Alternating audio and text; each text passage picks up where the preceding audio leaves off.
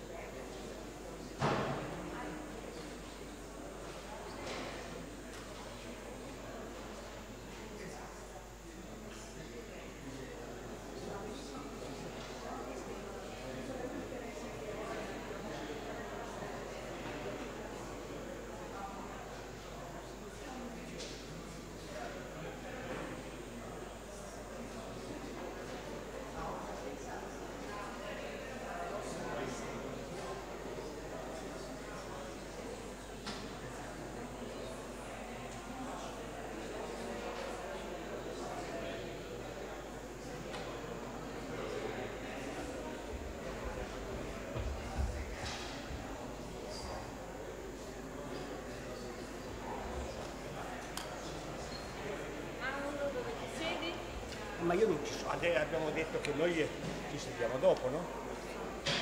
Il mio computer me l'hanno Parla, qual è l'ordine? oh, i servizi, poi, eh, e poi i seminari, e poi la tavola mano. Mauro Tosca. Servizi. Ah, bisogna piegarli.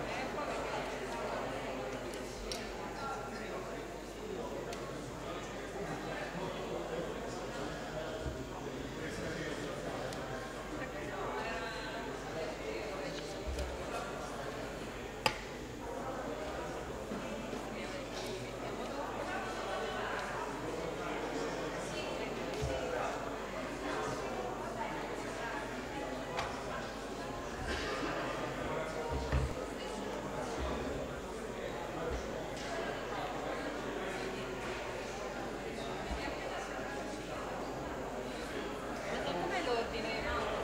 Ulizzi, poi e poi c'è Andrea. Esatto. Perfetto, Mauro Bosco. Me- eh, Ci teniamo qua, via. Tanto ci possiamo spostare. Esatto, esatto.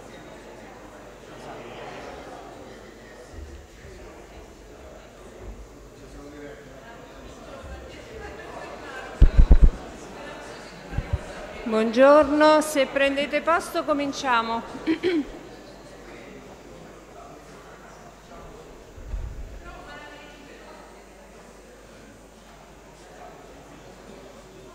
Allora, benvenuti a questa ultima sessione del nostro convegno. Eh, vi ricordo la nota di ieri, e cioè che a seguito del posticipo delle date di questo convegno si è reso necessario uno spostamento dei relatori per consentire appunto a loro di essere presenti, eh, poiché avevano altri impegni, per cui Luigi Rizzi, eh, che avrebbe avuto una relazione prevista per ieri e invece interviene oggi come primo relatore. Eh, questo non ha reso possibile la costituzione virtuale di una tavola rotonda, che era quella alla quale avevamo pensato con Silvia Del Negro, che invece ha parlato ieri, Mauro Tosco e Andrea Scala. Eh, l'idea della giornata di oggi era quella di di ehm, portare diciamo, delle testimonianze su casi di studio specifici, come ha già fatto Silvia ieri, per discutere eh, le tematiche del convegno. Eh, dunque è per questo motivo che gli interventi successivi a Luigi Rizzi di eh, Mauro Toschi e Andrea Scala avranno appunto questo tipo di taglio. Allora adesso io chiamo ehm, Pierluigi Cuzzolin che ci modera il dibattito e Luigi Rizzi qua a parlare. Grazie.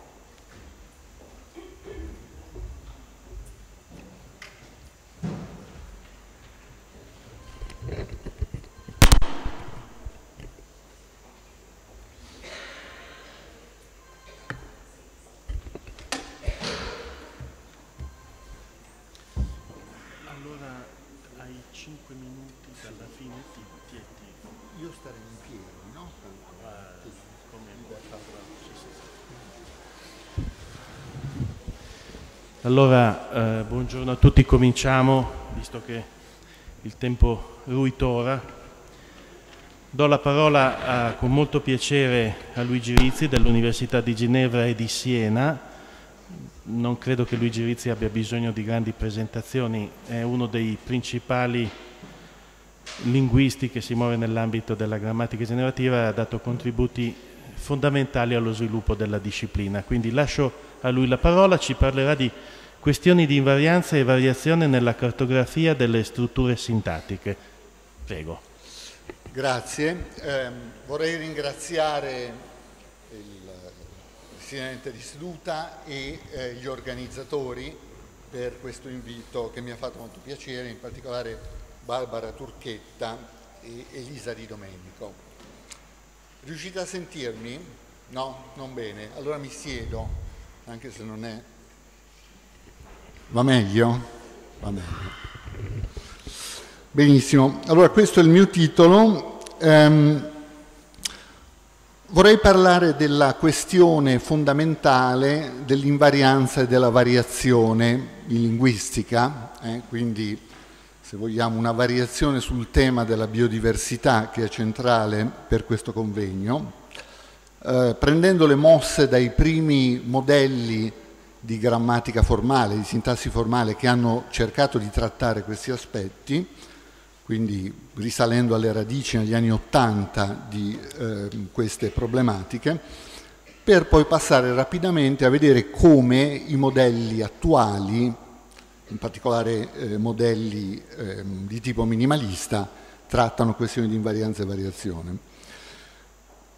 Poi vorrei passare a parlare della cartografia delle strutture sintattiche, quindi l'idea che le strutture sintattiche sono oggetti complessi che meritano un'attenzione particolare, meritano progetti di ricerca che cerchino di descrivere nel dettaglio le proprietà sintattiche, appunto, le proprietà fini delle strutture sintattiche. Quindi vorrei affrontare il tema della spiegazione ulteriore, che se vogliamo è il tema di raccordo tra la dimensione descrittiva molto importante degli, del, dei progetti cartografici, c'è molto da descrivere, e eh, l'elaborazione teorica, quindi lo studio delle proprietà fondamentali delle computazioni eh, sintattiche umane. Eh, il, il punto fondamentale che vorrei cercare di sviluppare è questo. I lavori cartografici scoprono tutta una serie di proprietà delle strutture sintattiche, si pone il problema di riconnettere queste proprietà ai fondamenti, se vogliamo, alle proprietà fondamentali delle computazioni sintattiche, quindi offrire una spiegazione ulteriore di queste proprietà. E vorrei concludere con lo studio di un caso, quindi trattare questioni di invarianza e variazione in strutture topicali e focali nella periferia iniziale della frase, quello che è stato chiamato la periferia sinistra, diciamo l'inizio in sostanza della struttura frasale.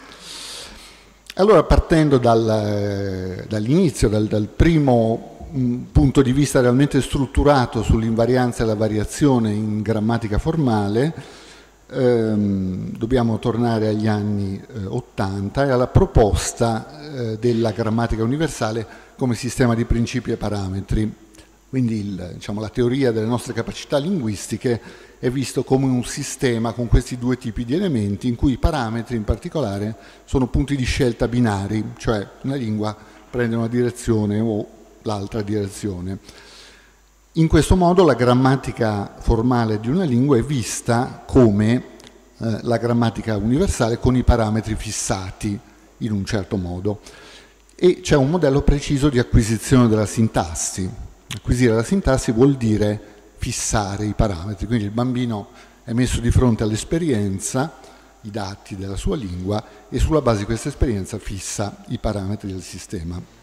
Ecco, questo approccio ha introdotto un linguaggio tecnico che ha rivelato un grande potere euristico, ha fatto letteralmente partire la sintassi formale comparativa che si è sviluppata enormemente, in particolare negli anni 80 e 90, ed anche lo studio dell'acquisizione della sintassi, mettendo insieme due popolazioni scientifiche distinte, eh, gli esperti appunto di sintassi formale e gli specialisti di acquisizione del linguaggio.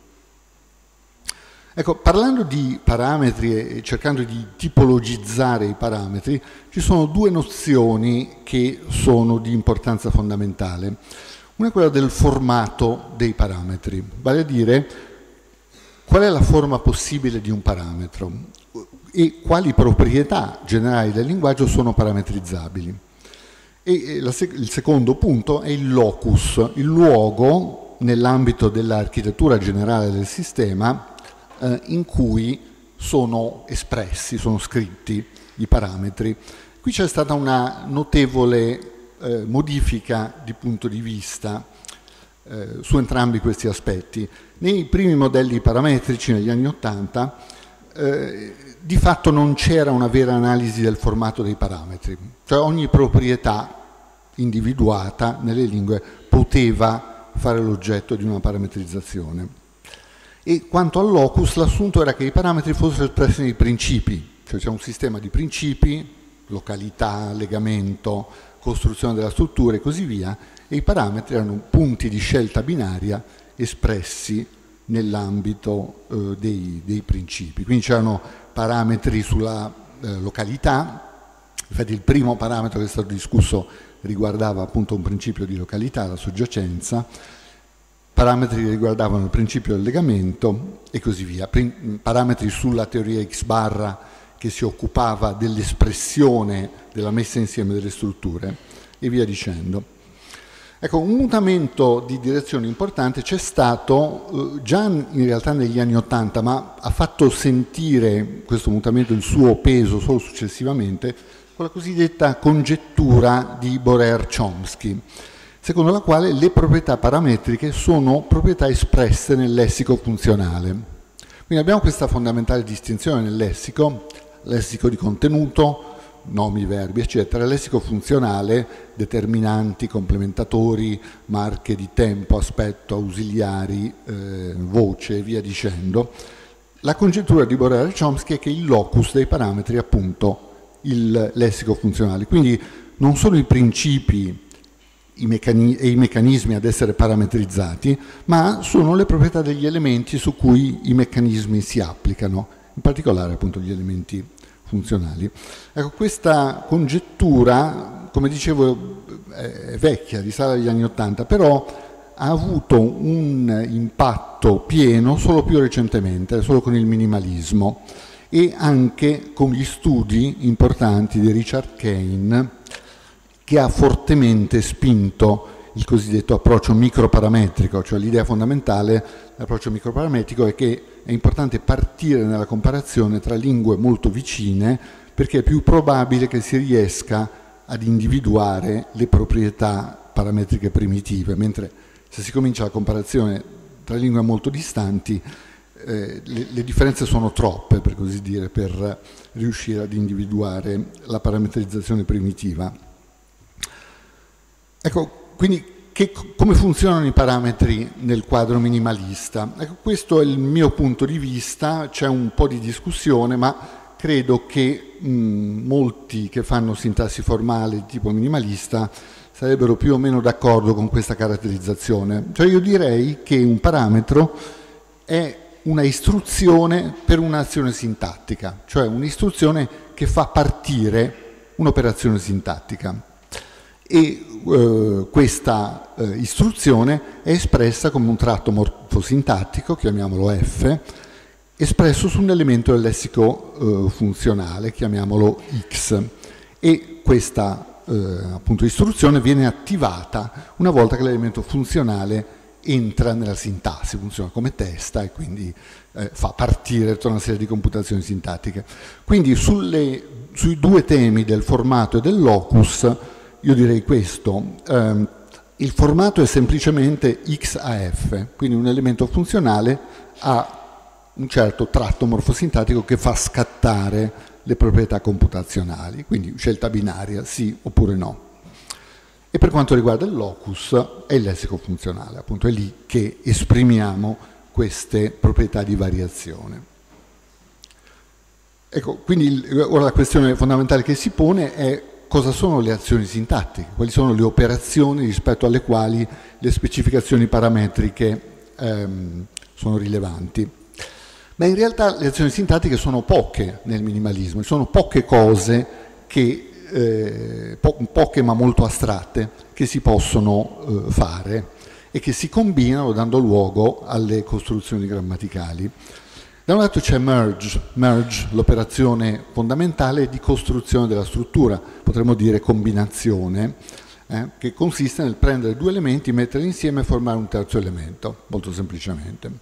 Quindi è la procedura combinatoria fondamentale che costruisce in maniera ricorsiva le strutture eh, sintattiche. E questo è il trucco fondamentale, diciamo, la ricorsività, che caratterizza questa proprietà centralissima delle lingue umane che è il, suo, il loro carattere illimitato fondamentalmente. Poi c'è il movimento, movimento che è una messa in relazione tra due posizioni fondamentalmente, no? Uno dice ma la mia teoria non ha il movimento, quest'altra teoria ha il movimento. In realtà eh, io credo che se si guarda il movimento in maniera sufficientemente astratta, Qualunque teoria che cerchi di trattare della sintassi delle lingue naturali deve avere il movimento, come messa in relazione tra due posizioni distinte. Eh? Una teoria che non abbia la capacità di mettere in relazione posizioni nell'albero sintattico semplicemente non descrive le lingue naturali, descrive un altro tipo di sistema più semplice.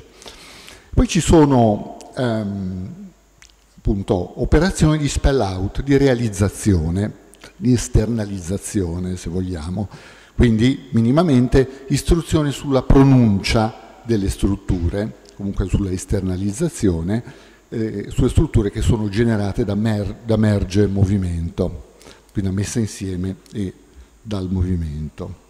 Quindi ci sono questi tre tipi fondamentali di azioni sintattiche e questi tipi definiscono una tipologia di parametri possibili. Quindi abbiamo parametri di merge, quindi parametri che riguardano la combinazione di elementi, per esempio tutto ciò che riguarda la selezione tra elementi, oppure se merge si occupa anche dell'ordine degli elementi, per esempio parametrizzazioni di ordine come la distinzione tra testa iniziale e testa finale, VO e OV, potrà essere vista come un parametro su merge. Ci sono parametri sul movimento, eh, per esempio abbiamo lingue, prendiamo la formazione di interrogativa, abbiamo lingue in cui l'interrogativa si forma con il movimento dell'elemento interrogativo e altre lingue in cui l'elemento interrogativo rimane in situ, non si sposta. Quindi qui c'è una parametrizzazione che riguarda il movimento. Mettiamo l'inglese o l'italiano, spostano un elemento come chi, che cosa, eccetera. Eh, una lingua come il giapponese o il cinese non eh, non ha lo spostamento. Quindi parametrizzazione su move. E poi abbiamo delle parametrizzazioni su spell out, sulla realizzazione necessaria, possibile o impossibile di determinate posizioni eh, sintattiche. Per esempio, tutta la vasta gamma di lavoro che riguarda la legittimazione dei pronomi, il parametro del soggetto nullo, oggetto nullo, topic nullo e così via, di cui molto si è trattato, rientra in questa tipologizzazione tra i parametri di spell out. Ecco, due parole prima di affrontare la cartografia sulla numerosità dei parametri. Chiaro che eh, i numeri di, delle proprietà che vengono parametrizzate sono molto grandi in questo tipo di approccio. Perché? Perché il lessico funzionale è molto ricco, in particolare se i lavori cartografici vanno nella direzione giusta, abbiamo centinaia di eh, elementi funzionali. Eh, problematica descritta in questo lavoro che ho fatto, eh, che ho pubblicato quest'anno con Guglielmo Cinque sull'Annual Review eh, of Linguistics. Su questa questione della numerosità del lessico funzionale c'è una convergenza con gli studi tipologici, eh, in eh, termini di ciò che viene caratterizzato negli studi tipologici come targets, l'insieme dei targets della grammaticalizzazione, per esempio il lavoro di Heine e Kuteva sui eh, targets della grammaticalizzazione che identificano appunto centinaia di tali targets. Quindi se abbiamo un lessico funzionale di queste dimensioni e ogni elemento funzionale esprime mm, una minima parametrizzazione in termini di merge, move e spell out, abbiamo molte centinaia di eh, parametri sulla base appunto del, eh, dell'ipotesi di Borer e eh, Chomsky, quindi un numero molto alto. Per esempio, prendo un caso concreto, eh, Giuseppe Longobardi nel suo eh, lavoro di cui forse si è parlato eh, anche in questo convegno, nei giorni precedenti, postula 82 parametri semplicemente per la struttura del sintagma nominale eh, e sicuramente ce ne sono altri, e poi ci sono tutte le altre zone dell'albero.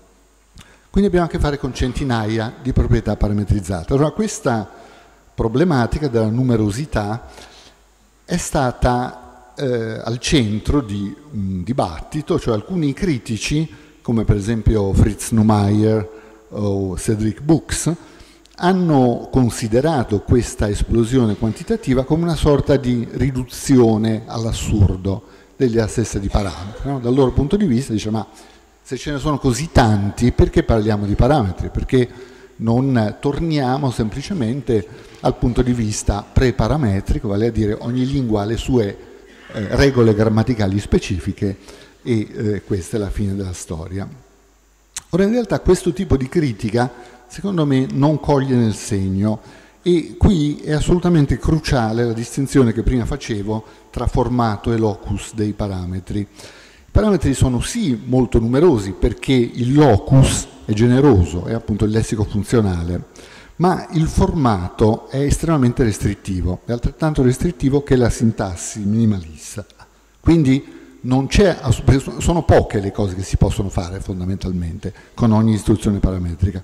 Quindi non c'è assolutamente un problema di esplosione combinatoria che potrebbe inficiare l'apprendibilità. Quindi un sistema con tantissimi parametri potrebbe essere difficilmente apprendibile, di fatto non è così vista la restrittività eh, sul, sul formato dei parametri. Da questo punto di vista permane una differenza molto forte con modelli preparametrici che effettivamente avevano enormi problemi di esplosione combinatoria eh, e di apprendibilità, proprio perché non c'erano restrizioni particolari sull'insieme di regole specifiche delle lingue. Qui le restrizioni ci sono come e sono estremamente severe.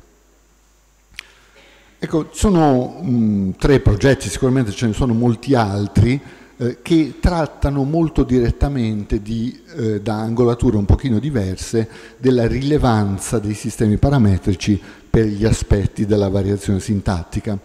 Eh, volevo giusto menzionarli. Eh, uno è il progetto di Ian Roberts, Rethinking Comparative Syntax, a Cambridge, che ha a che fare con la questione di come nascono in un sistema di questo genere le gerarchie parametriche, cioè perché certi parametri sembrano essere ordinati gerarchicamente. Prima bisogna assegnare un valore a un parametro per poter poi assegnare un valore a eh, parametri che in qualche modo ne discendono.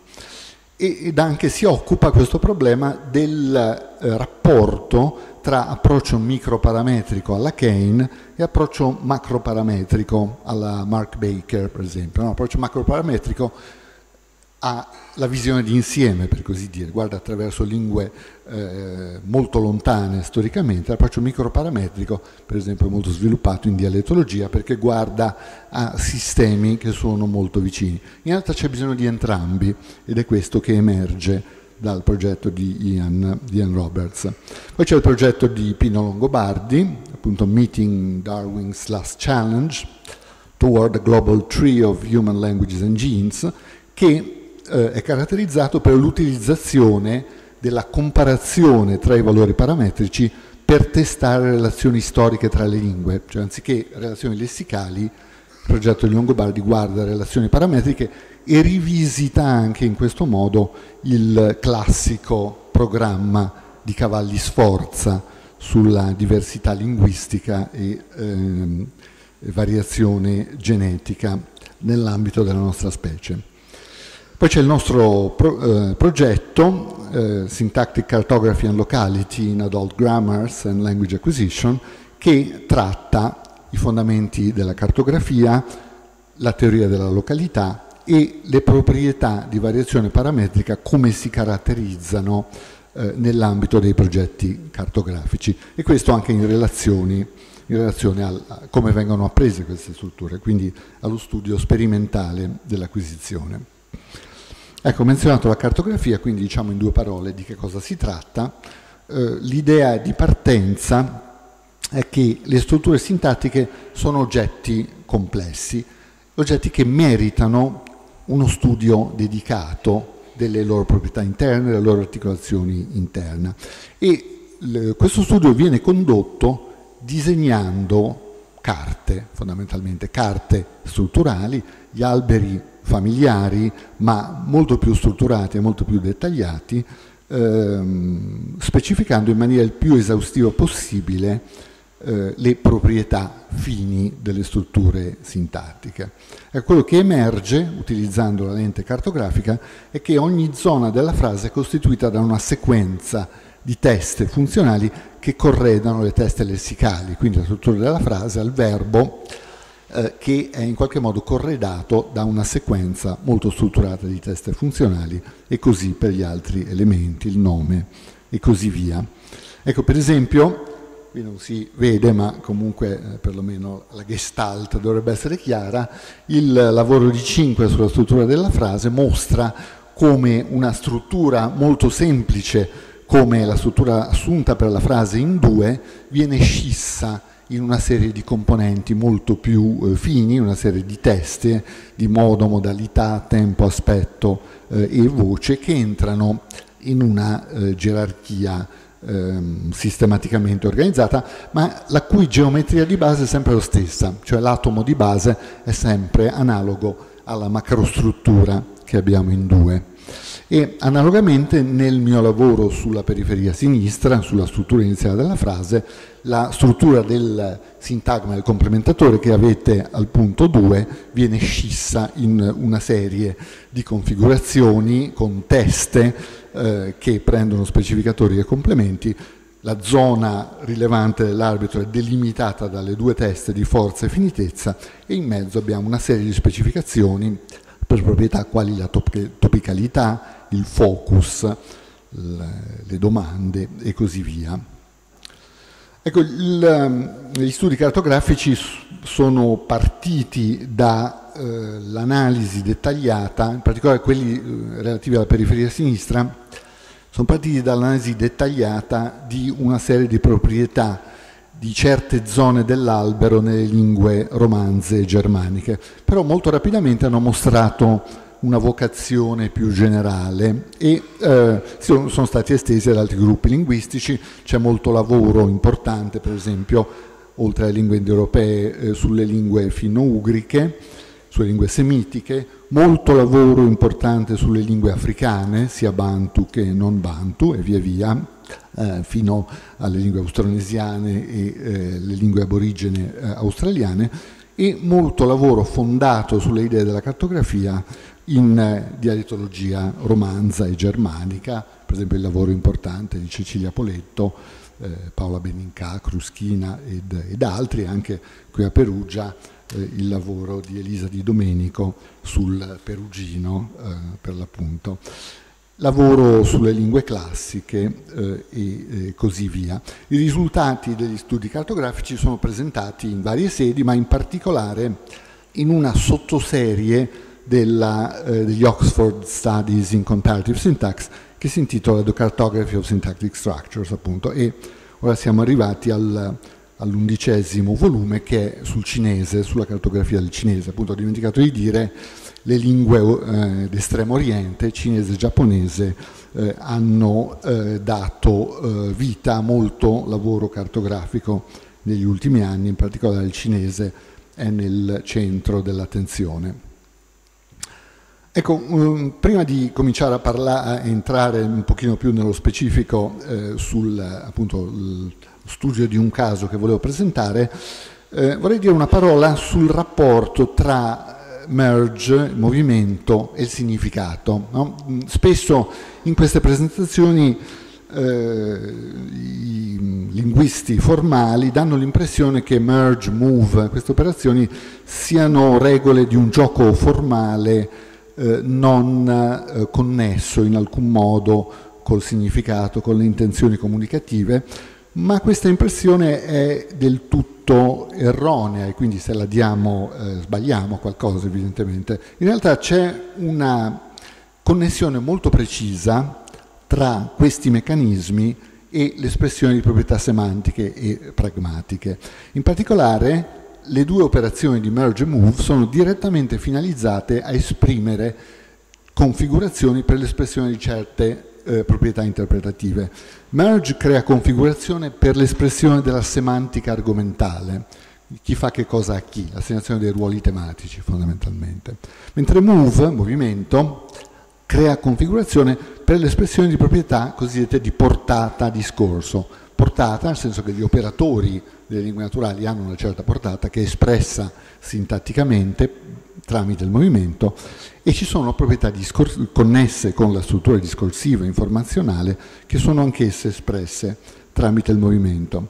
Allora prendiamo per l'appunto, focalizzandoci un attimo adesso sulla periferia sinistra, una serie di costruzioni prendendo l'inglese come metalingua, ma in tante altre lingue le cose funzionano più o meno in questo modo, eh, in cui eh, abbiamo delle costruzioni appunto che attivano la periferia sinistra, la periferia iniziale della frase, spostandoci un elemento, per esempio le domande, come in 1A, la topicalizzazione, la struttura topic comment, this book you should read tomorrow, e la struttura focalizzazione, in questo caso focalizzazione supponiamo correttiva, uh, this book you should read, not that one. Quindi qualcuno dice you should read uh, libro X, uno può correggerlo utilizzando questa struttura, appunto, this book you should read, not that one. Allora, secondo l'approccio criteriale che è parte integrante dello studio cartografico della periferia sinistra, eh, queste costruzioni funzionano tutte così. C'è, diciamo, la, la periferia iniziale della frase è popolata da un insieme di teste funzionali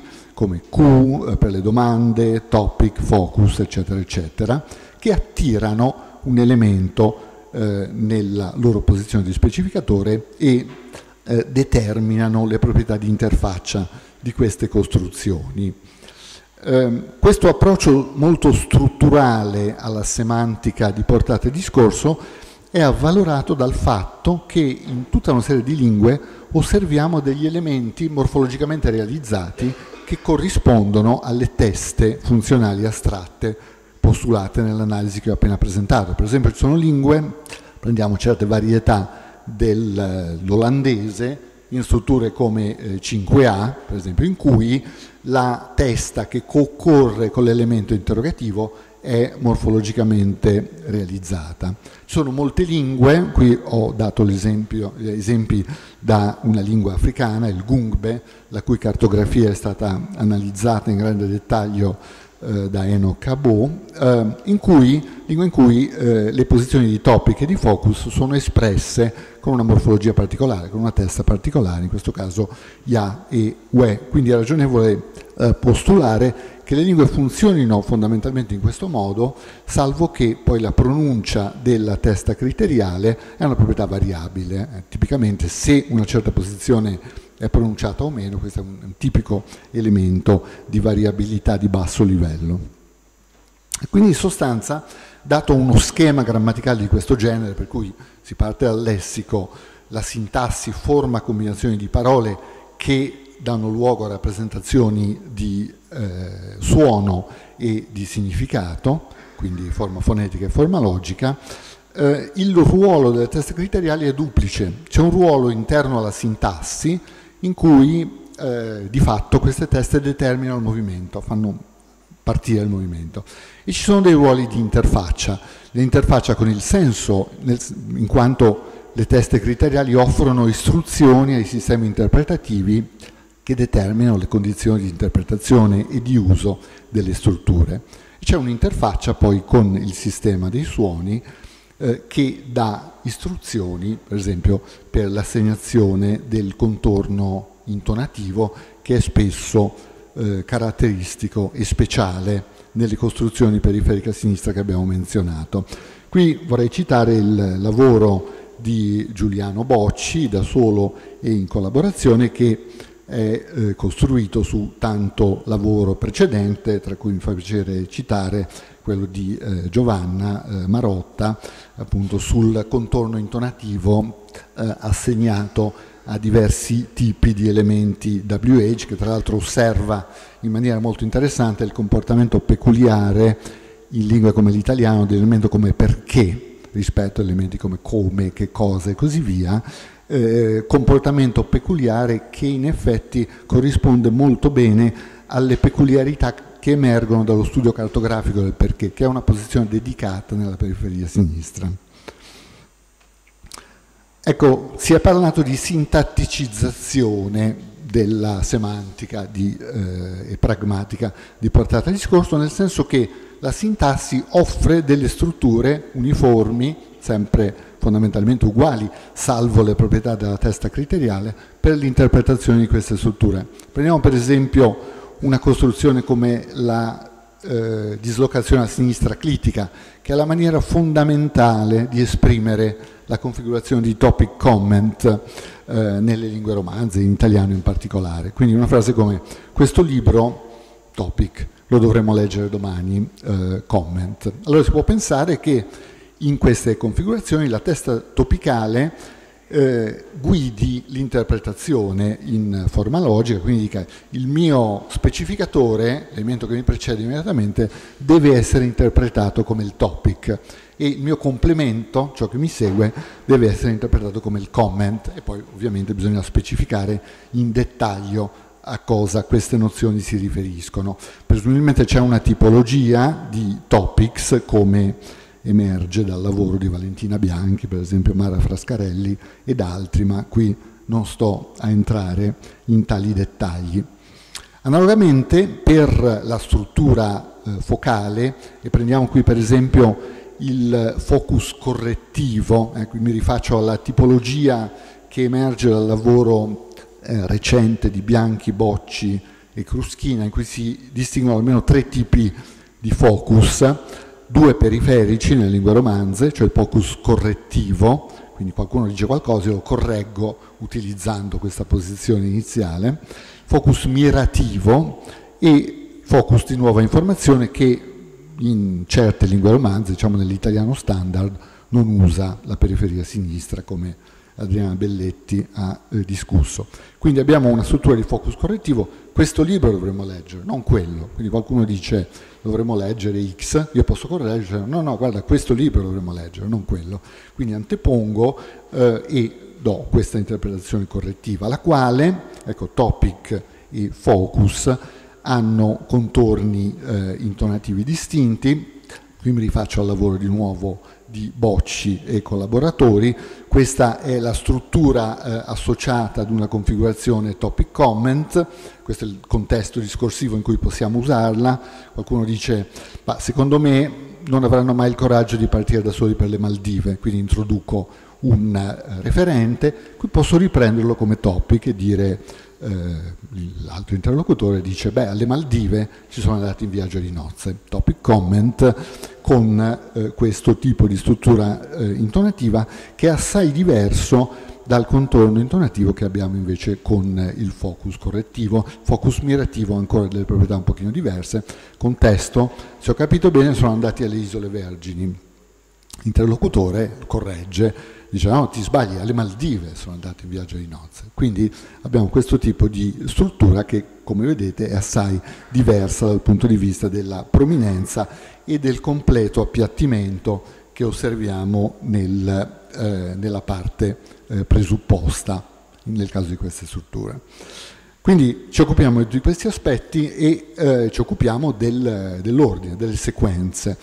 Eh, per esempio considerazioni eh, di tipo argomenti di transitività ci possono dare informazioni sull'ordine degli elementi, anche se due elementi non possono concorrere nella stessa struttura, il loro ordine rispettivo rispetto a un terzo elemento ci può dare un'informazione su come sono ordinati nella struttura completa. Sulla base di argomentazioni di questo tipo vediamo che tre elementi caratterizzabili come complementatori, secondo la tradizione, come che di complementatore infinitivo e se complementatore che introduce le domande indirette, occupano in realtà posizioni diverse nella periferia sinistra. Eh, come vedete in uno che precede necessariamente i topics, eh, D, come vedete in due, segue necessariamente i topics e eh, se eh, complementatore interrogativo può sia eh, precedere che seguire eh, un topic, quindi abbiamo sia 3A che 3B come possibilità. Il che sulla base di argomentazioni di transitività, se A precede B, B precede C, allora A precede C, ci porta ad una minima cartografia della periferia sinistra come quella indicata in 4. Quindi abbiamo che nella posizione più alta di forza il sistema è chiuso dalla posizione di finitezza di D se è in una posizione intermedia che può essere seguita o preceduta dal topic. La posizione di perché tra l'altro è la stessa, effettivamente viene fuori dall'analisi sintattica. Ecco, eh, questi ordini sono espressi sulla base di considerazioni astratte come quelle di transitività, quindi è utile osservare che in alcune lingue vediamo concorrere nella stessa struttura nell'ordine indicato gli elementi che invece non concorrono in altre lingue. Per esempio, in questa costruzione spagnola, eh, le, cosiddette reported questions, l'elemento che e l'elemento se concorrono come in strutture come uno e possono essere separati da un topic. Quindi l'ordine che se, che è postulato astrattamente in italiano, è immediatamente visibile in questo tipo di costruzione spagnola. Eh, Mamoru Saito ha lavorato dettagliatamente su queste configurazioni in giapponese, dove parliamo ovviamente di periferia destra, visto l'ordine a testa finale di questa lingua, e ha osservato l'ordine sistematico ka-to in giapponese in costruzioni reported questions analoghe a quelle che abbiamo appena visto, ehm, e eh, notate che dunque ka corrisponde a se, to corrisponde a che, quindi abbiamo l'ordine che è immagine speculare, il che è atteso ovviamente dato l'ordine testa-complemento, complemento-testa delle due lingue. L'ordine postulato astrattamente per le lingue romanze, che se di, e l'ordine visibile in effetti nella stessa struttura in giapponese, secondo l'analisi di Saito, no kato, con no marcatore di finitezza, eh, manifestano la stessa struttura gerarchica evidentemente, ma eh, ordini che sono l'immagine speculare l'uno dell'altro, vista la differenza nel parametro testa-complemento tra le due lingue. Ecco, vorrei eh, avviarmi verso le conclusioni eh, parlando del rapporto tra la cartografia e la teoria, eh, cartografia e spiegazione ulteriore. Ehm, Come dicevo, i progetti cartografici hanno un'amplissima dimensione descrittiva, cioè bisogna descrivere le cose, bisogna vedere come funzionano le periferie nelle diverse lingue oppure la struttura della frase nelle diverse lingue con queste rappresentazioni molto dettagliate. Ecco, facendo questo tipo di lavoro però si scoprono, si scopre che alcune proprietà, per esempio di ordine, sono universali per quanto possiamo vedere, sono sistematicamente trovate, sono invarianti, mentre altre sono variabili. Quindi si pone il problema in relazione alle proprietà invarianti eh, se e come queste proprietà si possono ricondurre a dei principi più profondi di eh, teoria eh, sintattica. È improbabile che le configurazioni cartografiche siano dei primitivi, perché la grammatica universale avrebbe dovuto sviluppare strutture di questa complessità. Quindi è più plausibile che si possano ricondurre al gioco interattivo tra principi più profondi e più eh, elementari. Ho ancora qualche minuto? 5 minuti alle 10.25, quarto d'ora ancora. Perfetto, benissimo. Forse non riuscirò anche a finire in, in lieve anticipo, per lasciare un pochino di tempo alla discussione. Quindi, spiegazione ulteriore, come riconduciamo queste proprietà? Eh, da, da, questo punto di vista possiamo dire che gli studi cartografici nutrono di nuovo materiale empirico gli studi teorici, generando problemi, generando problemi per la spiegazione teorica e quindi in qualche modo contribuiscono ad arricchire la base empirica degli studi fondamentali di teoria sintattica, sulle computazioni sintattiche. Ecco, dove possiamo cercare i principi che sono alla base di questa spiegazione ulteriore delle rappresentazioni cartografiche? Ma se pensiamo allo schema grammaticale eh, di cui abbiamo accennato prima, quindi c'è il lessico, le combinazioni sintattiche e le rappresentazioni di interfaccia di suono e significato, sono due punti fondamentalmente, che possono essere pertinenti. Certe proprietà cartografiche possono seguire da proprietà dei principi di interfaccia. Eh? Quindi i sistemi di, interfaccia con i suoni e con i significati possono imporre al, alle strutture linguistiche, alle strutture sintattiche, certi aspetti, per esempio certe proprietà di ordine. Oppure è possibile che certe proprietà eh, emergano dal funzionamento interno della scatola sintattica, quindi le computazioni sintattiche rispettano certi principi, per esempio di località, quindi è possibile che i principi interni alla sintassi formale determinino certe proprietà scoperte empiricamente eh, nel lavoro cartografico. Allora vediamo un attimo una tematica che è questa, Abbiamo parlato del topic e del focus. Allora, molte lingue ammettono topic multipli nella periferia sinistra. Tipicamente quello che osserviamo è che o una lingua ammette un solo topic o ne ammette un numero indefinito. Non sono lingue che ammettono tre topic ma non quattro, per dire, quattro topic ma non cinque, che ha a che vedere col fatto che le grammatiche non hanno contatori, non hanno modo di esprimere tali proprietà o una proprietà è ricorsiva e allora non possiamo stoppare la ripetizione del, della procedura ricorsiva, oppure non è ricorsiva, nel qual caso abbiamo un solo elemento di un certo tipo. Queste sono le due proprietà fondamentali. Invece per quanto riguarda il focus periferico a sinistra, eh, quindi non il focus in situ che funziona diversamente, ma il focus periferico a sinistra, tipicamente troviamo che le lingue che lo usano usano una sola posizione di focus periferico a sinistra. Non abbiamo proliferazioni. Topic multipli, beh, per esempio in italiano, a Maria il tuo libro lo devi dare, abbiamo due topics, potremmo averne tre, potremmo averne quattro, cinque, eccetera, eccetera. Eh, analogamente in lingue africane come l'ABG, eh, parlato eh, in, in, Costa d'Avorio, stessa cosa, sal- con l'elemento più interessante però che ogni topic viene fuori col suo proprio piccolo topic marker, questo elemento è che, quindi possiamo, abbiamo tre topics, tre topic markers e così via. Per quanto riguarda il focus, in particolare il focus correttivo, ma io penso generalmente eh, il focus periferico a sinistra nelle lingue che usano la posizione periferica a sinistra per il focus, abbiamo tipicamente una unicità. Possiamo avere tipicamente un solo focus correttivo, per esempio, ma questo vale anche per il focus mirativo, vale anche per il focus nuova informazione nelle lingue che esprimono la nuova informazione nella periferia sinistra, che non è il caso nell'italiano standard, certi dialetti del sud Italia invece lo fanno.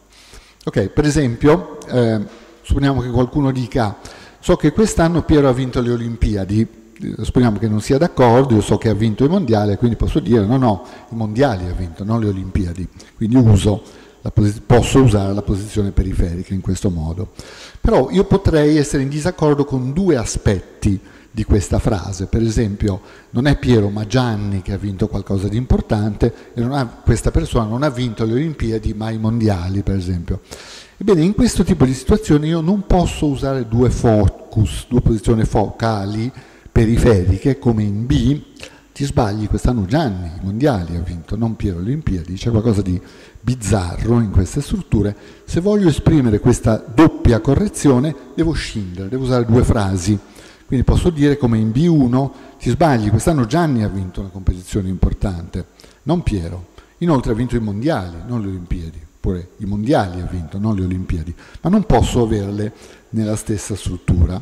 Questo vale molto sistematicamente attraverso le lingue, forse qui non riuscite a leggere, ho messo una decina di casi eh, che mostrano questa non eh, possibilità di concorrenza di due focus correttivi o foci correttivi periferici a sinistra, eh, italiano, inglese, poi ho messo l'armeno, l'ungherese, tipicamente mostra questa proprietà, l'ebraico, giamaicano e altre lingue creole, poi due lingue africane. Le lingue africane sono interessanti perché siccome abbiamo il marcatore esplicito, li vediamo molto esplicitamente che il marcatore focale non può mai concorrere con un altro marcatore focale. Quindi abbiamo visto per esempio la BG che ammette più marcatori topicali, ma eh, un solo, questo B, che è il marcatore focale, eh, ne può occorrere uno solo nell'ambito della struttura. Questo è importante perché talvolta in lingue che non hanno un marcatore realizzato ci può essere un po' di confusione tra focus e topic contrastivo, che è tutta un'altra cosa. Eh.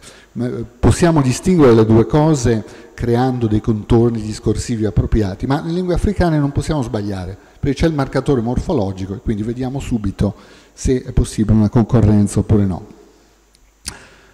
Allora, c'è una spiegazione di interfaccia molto semplice eh, che eh, tratta l'unicità del focus, il focus correttivo. Se eh, la routine interpretativa è quella indicata in 1, quindi la testa focale dice interpreta il mio specificatore come focus e interpreta il mio complemento come presupposizione, come conoscenza presupposta tra me e l'interlocutore, eh, questo rende conto della impossibilità di recursione della testa focale, perché se la avessimo in una situazione come 2, avremmo che il, lo specificatore della seconda testa focale, focus 2 indicato in rosso, sarebbe da un lato focale, in quanto appunto tale posizione, dall'altro sarebbe parte della presupposizione della testa focale più alta, ma presumibilmente un elemento non può essere al tempo stesso focale nel senso rilevante e presupposto, quindi la recursione non si può dare.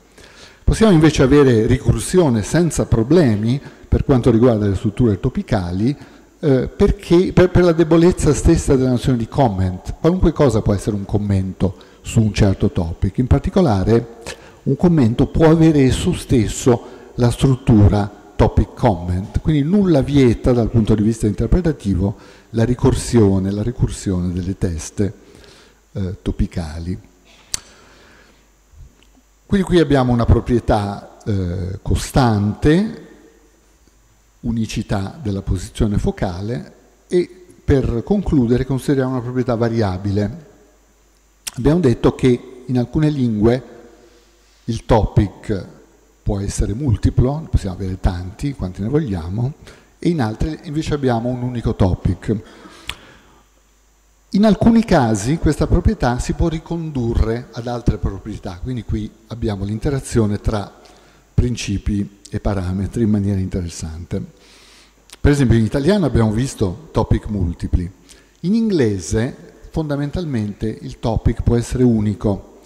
Esempio 2, eh, 2A, 2B, un elemento può essere topicalizzato, non possiamo topicalizzare due elementi, 2C non è naturale, to marry John I will introduce tomorrow, eh, oppure 2E per esempio, John the car I convinced to rent, non è naturale.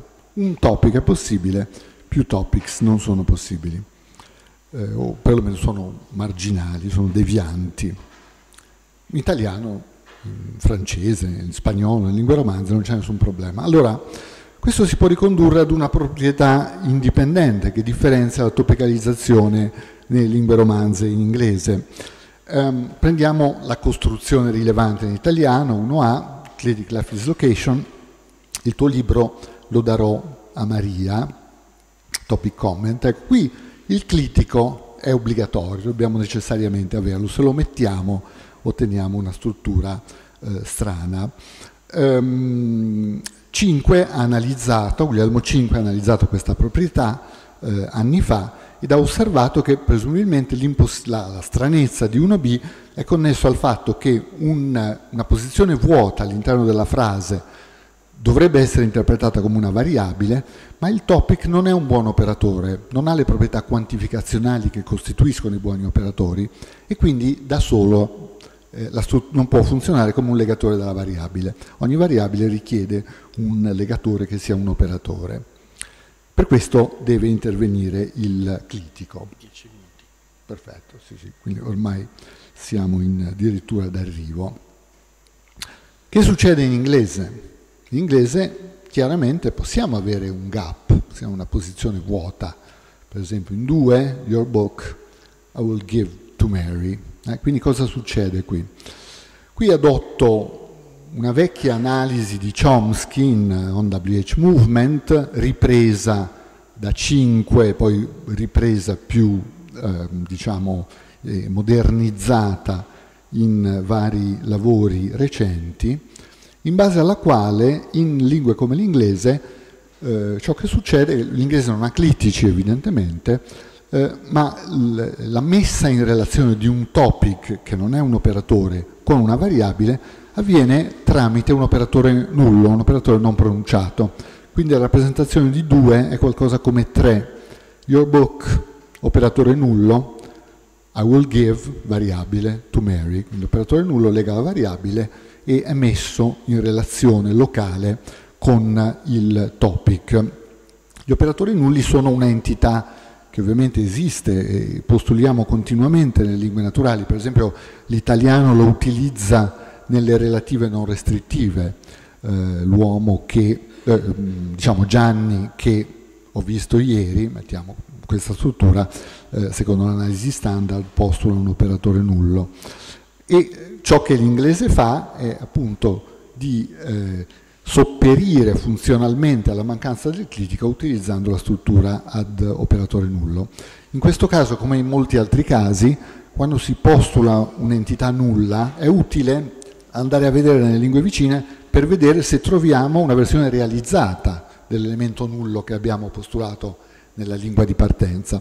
In effetti questo accade, eh, per esempio in olandese, ma più generalmente nelle lingue germaniche a verbo secondo, nella topicalizzazione possiamo avere che l'operatore corrispondente ad un elemento relativo può essere realizzato. Quindi in olandese abbiamo strutture come 4, eh, l'uomo, eh, l'equivalente di eh, quest'uomo lo conosco è qualcosa come quest'uomo, pronome eh, opzionale, quindi eventualmente nullo realizzato, eh, che legherà la variabile interna alla struttura. Poi l'olandese ovviamente ha verbo secondo, quindi abbiamo anche l'inversione. Ecco, questo è molto importante.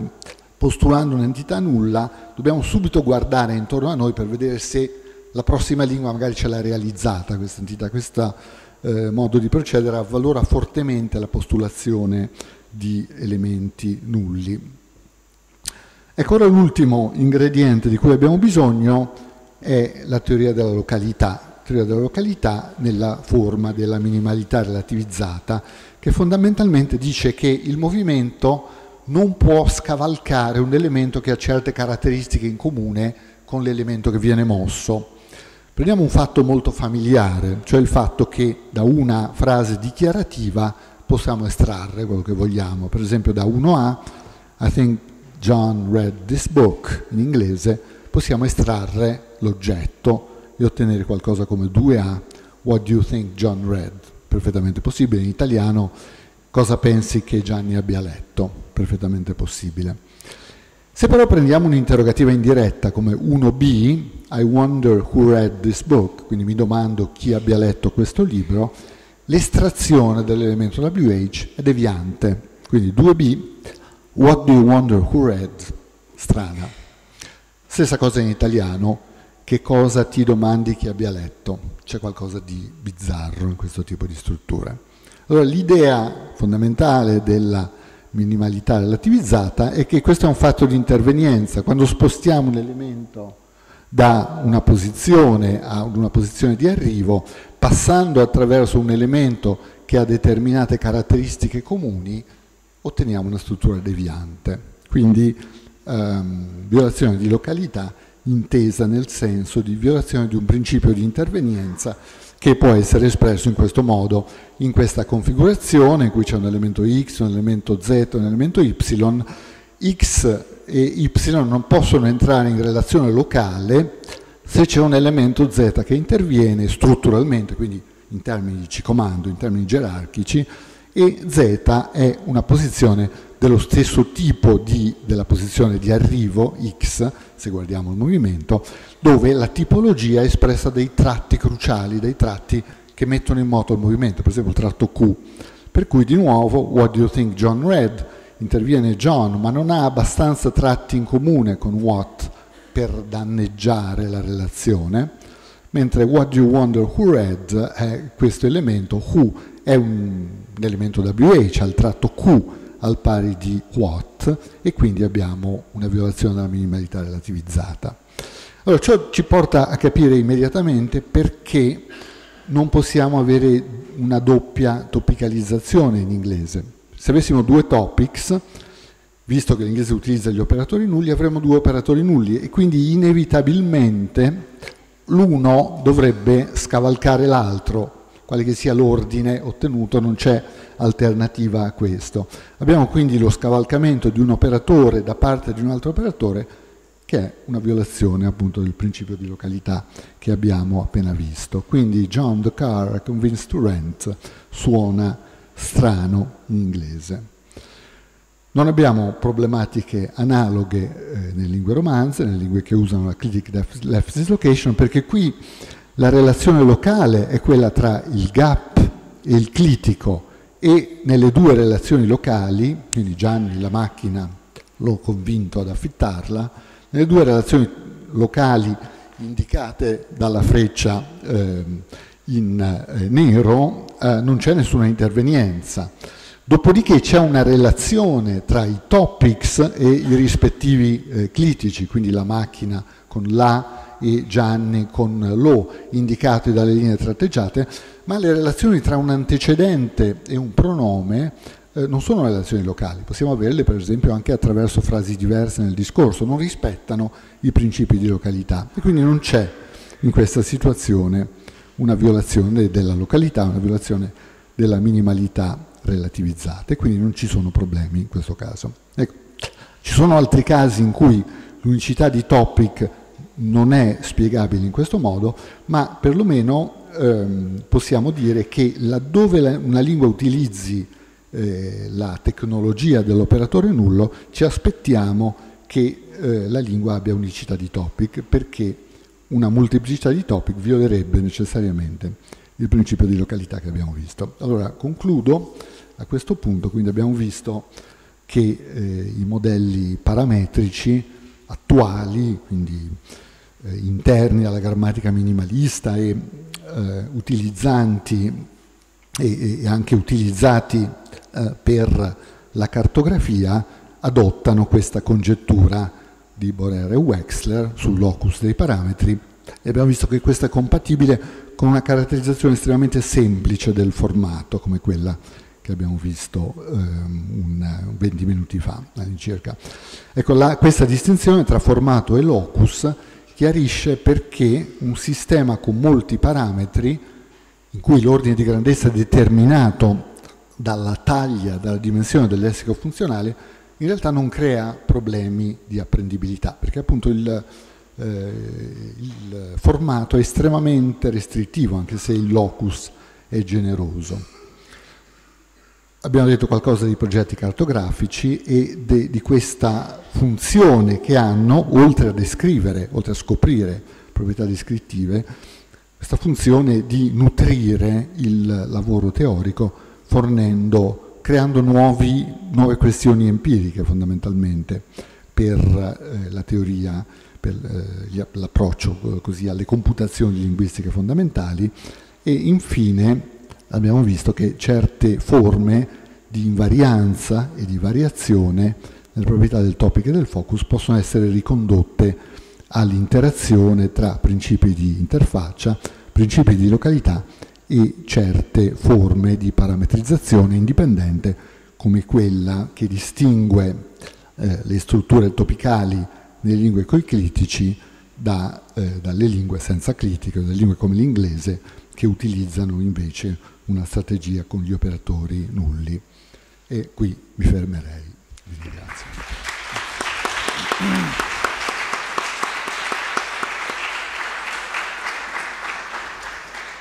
Grazie, eh, la relazione è stata estremamente ricca e interessante. Purtroppo c'è tempo per una sola domanda che viene aggiudicata a Lunella Mereu. Eh, sì. sì, grazie. Non riesco a trovare il tecnico.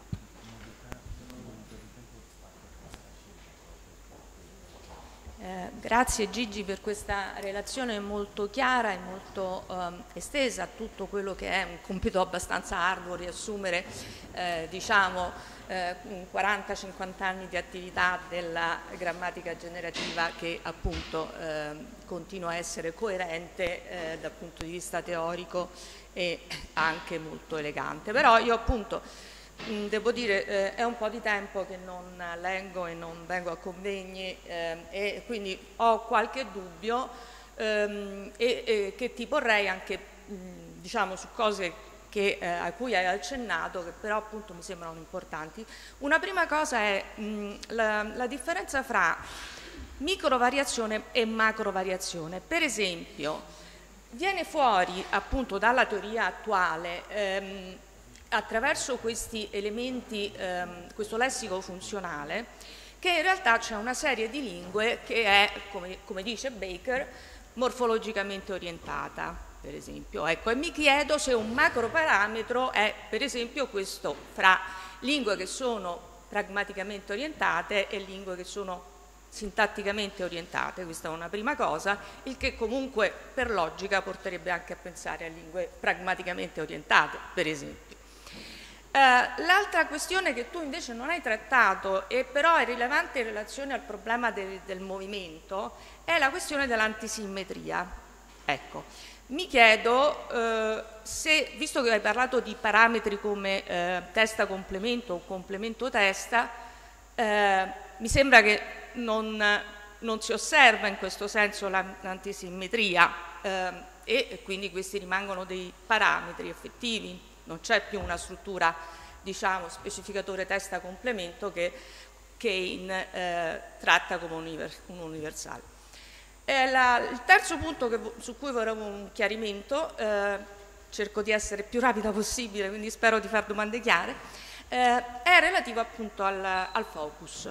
E cioè tu hai giustamente parlato di questi elementi che stanno nella periferia sinistra e, eh, e, questa domanda di nuovo in, comporta la relazione col movimento. Eh, per esempio un focus contrastivo, un focus correttivo eh, possono stare anche in situ, anche in italiano, il che naturalmente significa che eh, ci sarà questa differenza per cui c'è un movimento per l'interpretazione in forma logica.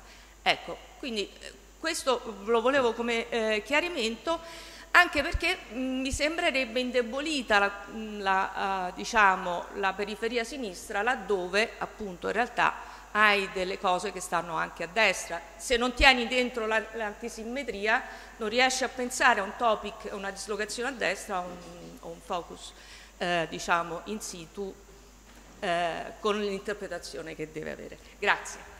Sì, eh, grazie Lunella, eh, queste domande sono eh, molto rilevanti. Allora, sulla questione eh, microparametri, macroparametri, eh, come sai c'è molto dibattito, eh, in particolare Mark Baker e Richard Kane non vanno completamente d'accordo e Ian Roberts cerca di sistemare le cose.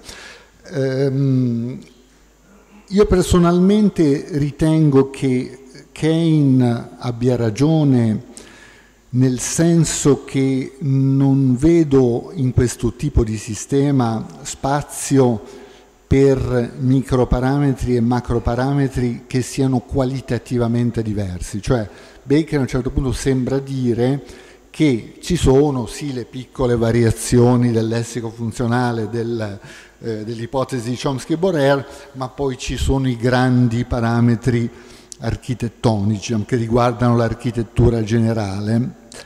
Io non credo che ci sia spazio per identificare due tipi di meccanismi diversi. Mi sembra che non, questo non sia possibile. Mi sembra che il meccanismo sia uno solo, cioè sia quello fondamentalmente dei, dei microparametri. Ciò detto, alcuni microparametri si trovano all'interno di gangli vitali del sistema per cui hanno conseguenze che vanno molto al di là del semplice valore parametrico della realizzazione o non realizzazione di quell'elemento, perché ci sono delle cascate deduttive importanti che si creano, mettiamo, perché il soggetto nullo è più importante da un certo punto di vista dell'oggetto nullo, cioè il soggetto nullo interagisce con tutta una serie di altre proprietà, quale l'estrazione così via, mentre l'oggetto nullo non lo fa, ma perché eh, la proprietà parametrica in questione è più vicina a un punto vitale, appunto uno dei gangli vitali del sistema, che è appunto la parte alta della struttura dell'IP, per cui interagiscono diverse cose che danno luogo alle manifestazioni che sono state ampiamente studiate nel, negli anni passati. Quindi io direi il meccanismo è uno solo, ci sono dei parametri eh, espressi nel formalismo Chomsky-Borero, nel formalismo che ho proposto io, eh, che hanno implicazioni molto più ampie di altri semplicemente per dove sono sistemati nell'ambito, nell'ambito del sistema. E ciò detto penso che Baker abbia assolutamente ragione nel senso che sia la microcomparazione che la macrocomparazione sono necessarie perché c'è bisogno sia del microscopio microcomparativo che del fatto di non perdere di vista il quadro generale. Quindi entrambe le cose sono assolutamente indispensabili. Vado molto rapidamente sul, sugli altri due punti che hai sollevato.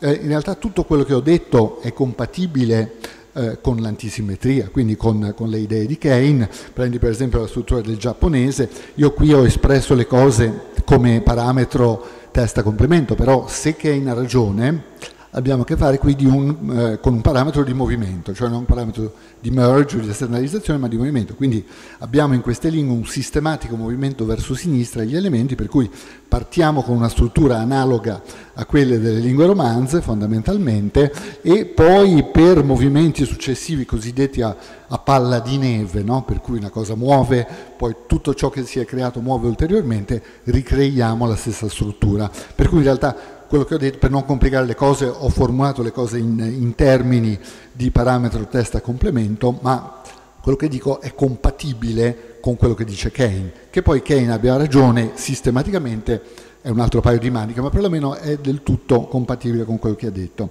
Sull'ultima questione, eh, che era il fatto che abbiamo, possiamo avere focus con movimento, ma anche focus in situ, eh, certo, questo è vero e eh, diciamo, il modello di tutti questi movimenti verso la periferia sinistra è sempre il WH movement, è sempre il movimento dell'elemento interrogativo. Allora lì sappiamo che già nel nostro modello ci sono le due possibilità, perché abbiamo le lingue col movimento e le lingue con l'elemento WH in situ. Quindi il sistema deve poter esprimere entrambe le possibilità. Entrambe le possibilità sono colte eh, utilizzando la, la, tecnologia minimalista dicendo che un, per, per il movimento tu devi prima individuare la testa di origine del candidato al movimento mettendoli in, in relazione con un'operazione che si può chiamare search, ricerca, diciamo, no? qualcosa che ha i tratti analoghi.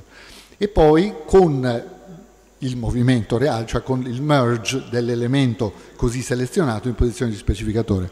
Allora, le strutture in cui abbiamo queste configurazioni in situ evidentemente fanno una sola di queste due operazioni, cioè stabiliscono la relazione tra un elemento periferico e una posizione interna e poi però non fanno partire il secondo merge, diciamo così, che sposta l'elemento in lingue come supponiamo per WH Movement l'inglese.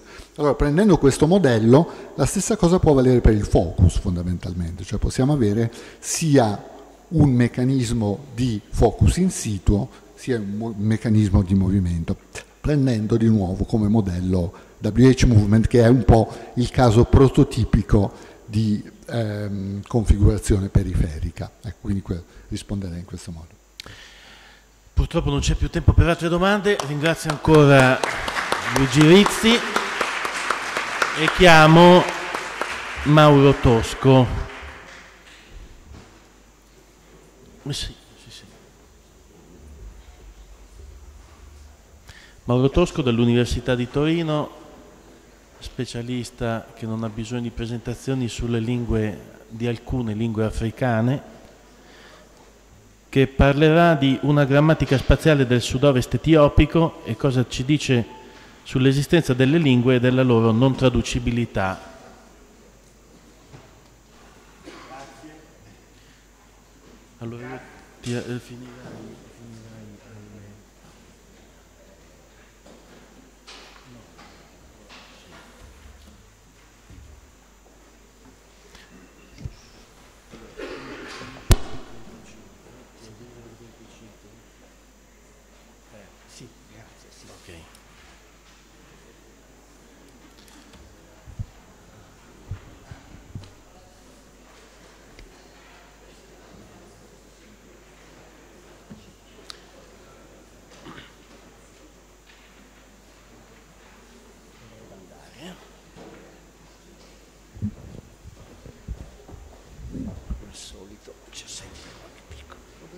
Ecco, era, era comparso, c'è, c'è. C'è o non c'è? Bene.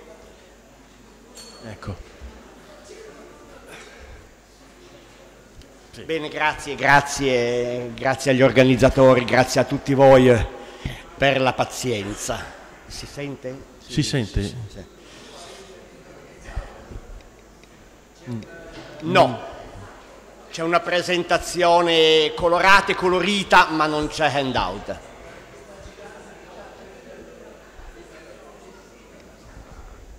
Benissimo. L'handout che ci sta girando non è quello che, verrà, che mm, tratta dell'attuale... A meno che sia stato fatto un handout a mia insaputa, ma potrebbe anche sono eh, no, i misteri ehm, della linguistica. Prego. Eh, cercherò di essere, di essere, molto breve e di non tediarvi. Eh, il problema, come avete capito, è quello dell'espressione linguistica delle relazioni spaziali, della loro diversità. Eh, il tutto basato su esperienza di campo e sui problemi che un linguista descrittivo, come cerca di essere il sottoscritto, si trova ad affrontare, si è, trovuto, si è trovato ad affrontare eh, in un caso specifico. Ehm, stiamo parlando di una lingua del Corno d'Africa, di una lingua, mh, di una lingua del sud-ovest etiopico, una lingua cuscitica, questa è una carta che conoscerete, quella di Huffman, questa è un'altra carta forse più conosciuta, quella del sud-ovest dell'Etiopia, tratta da Ethnologue, eh, notate che ogni, ogni, lingua ha il suo bravo numero e i suoi bravi confini, ehm, ma questo è un altro problema. Eh, la lingua in questione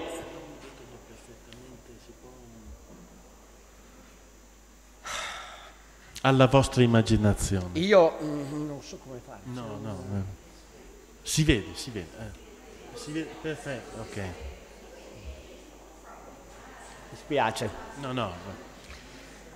Eh, la lingua in questione, il Gawada, eh, il cui codice è GVD. Ehm, bene, eh, immaginiamo un linguista che in qualche modo stia facendo ricerca in questa zona, è probabile che nel corso delle prime fasi del suo lavoro abbia in realtà accertato, perché è un fatto comune, come sapete, a tutte le lingue di questa parte del pianeta, il fatto che il parametro, come si diceva prima, che determina la, la, posizione del verbo e del complemento sia settato su un valore verbo finale. Tutte queste lingue sono molto rigidamente verbo finali.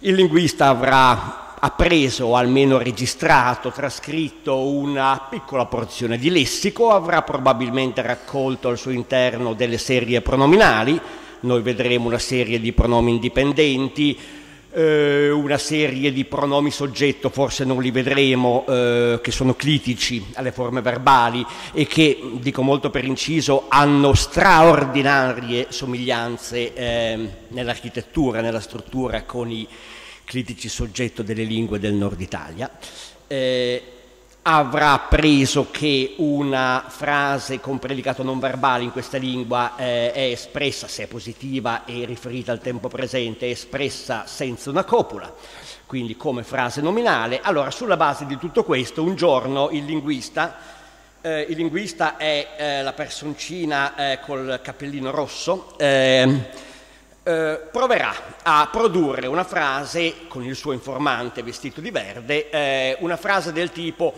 eh, io sono alla tua destra, ehm, sfruttando le proprie conoscenze. Eh, io, si dice ano, e penso che mm, se ricordate giusto qualche parola di arabo ed ebraico è il pronome indipendente di prima persona di tutto l'afroasiatico eh, tu sarebbe ato, mm, ma qui avremo una forma flessa secondo un determinato caso. Insomma, eh, il linguista avrà anche imparato che destra si dice mischitte e proverà a produrre la frase ano holà mischittatte io sono alla tua destra, eh, utilizzando un morfema di caso mh, mm, che io chiamo associativo, che ha diversi valori. Eh, l'importante non è questo, l'importante, annotate che hola, eh, che è la forma associativa eh, del pronome, ehm, del, pronome, di seconda ehm, singolare, eh, è diversificato per maschile e femminile, mentre il pronome indipendente ha una forma unica, ato. Anche questo è incidentale.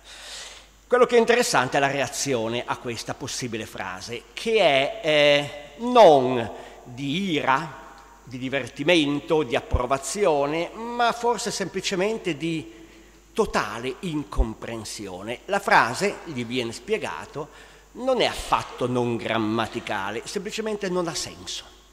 Non ha assolutamente senso. Forse potrebbe voler dire io sono situato sul tuo braccio destro. Insomma, la reazione dell'informante è questa frase non vuol dire nulla e eh, gli propone al contrario una bellissima frase che il linguista si affretta a trascrivere che è Anohola Gora. Ora, alla finale A pone al linguista qualche piccolo problema, ma in questo momento lui ha ben altri problemi.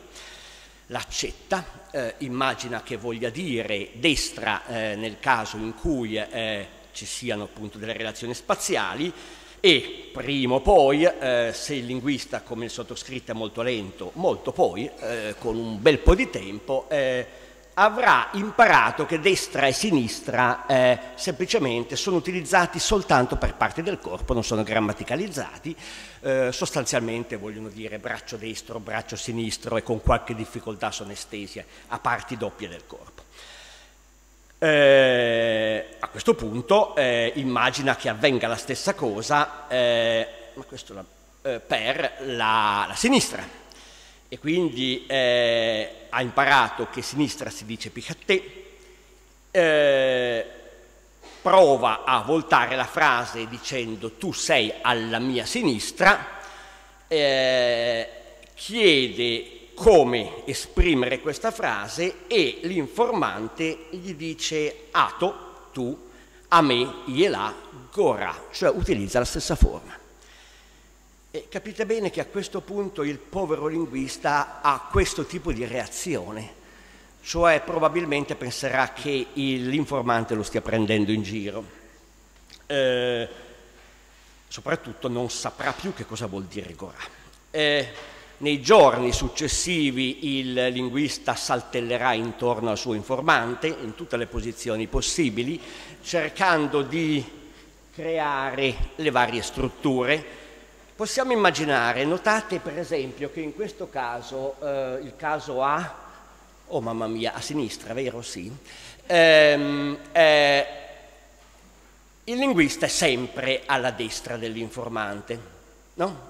Sì, è a destra dell'informante. Immaginiamo che per esempio sono in questa posizione perché nella posizione precedente faceva troppo caldo, si voleva stare all'opera, si sono spostati e faremo dei tentativi per ottenere sempre le nostre frasi, sono a destra, sono a sinistra e ovviamente anche non vi tedio, sono di fronte, sono dietro e d'improvviso non salta più fuori Ano Hola Gorà, ma invece gli viene proposto Ano Hola Galà.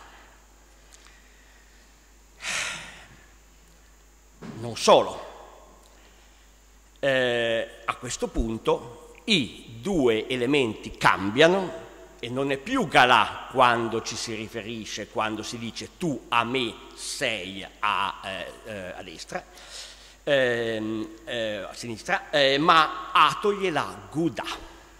Quindi il linguista ha trovato tre, eh, tre elementi eh, la cui morfologia sarà un altro problema e deve in qualche modo eh, correlarli, banalmente permettetemi di dire tradurli. Eh, io devo, eh, come si dice in inglese, tagliare una lunga storia eh, corta, cioè fare eh, brevemente, ma nei giorni, nelle settimane successive il linguista capirà una cosa fondamentale io ci ho messo veramente molto molto tempo e non l'ho scoperta io. E cioè che quello che eh, veramente per tutta la vita pensava che fosse l'unico modo possibile per esprimere le relazioni spaziali, eh, e cioè la proiezione di assi immaginari a partire dal proprio corpo, eh, determinanti una destra, una sinistra, notate che per quello che per me è la destra per voi è la sinistra, ma lo sapete questo, lo sappiamo da quando siamo bambini, l'abbiamo imparato con molta difficoltà, come ci dicono gli psicologi, una destra, una sinistra, un, un di fronte, un dietro, ecco, tutto questo il linguista lo considerava universale, ma era in buona compagnia, insomma, eh, qualcuno che si chiamava Kant, non Mauro Tosco, lo diceva, Leibniz lo diceva, ecco, tutto questo... Eh, non funziona.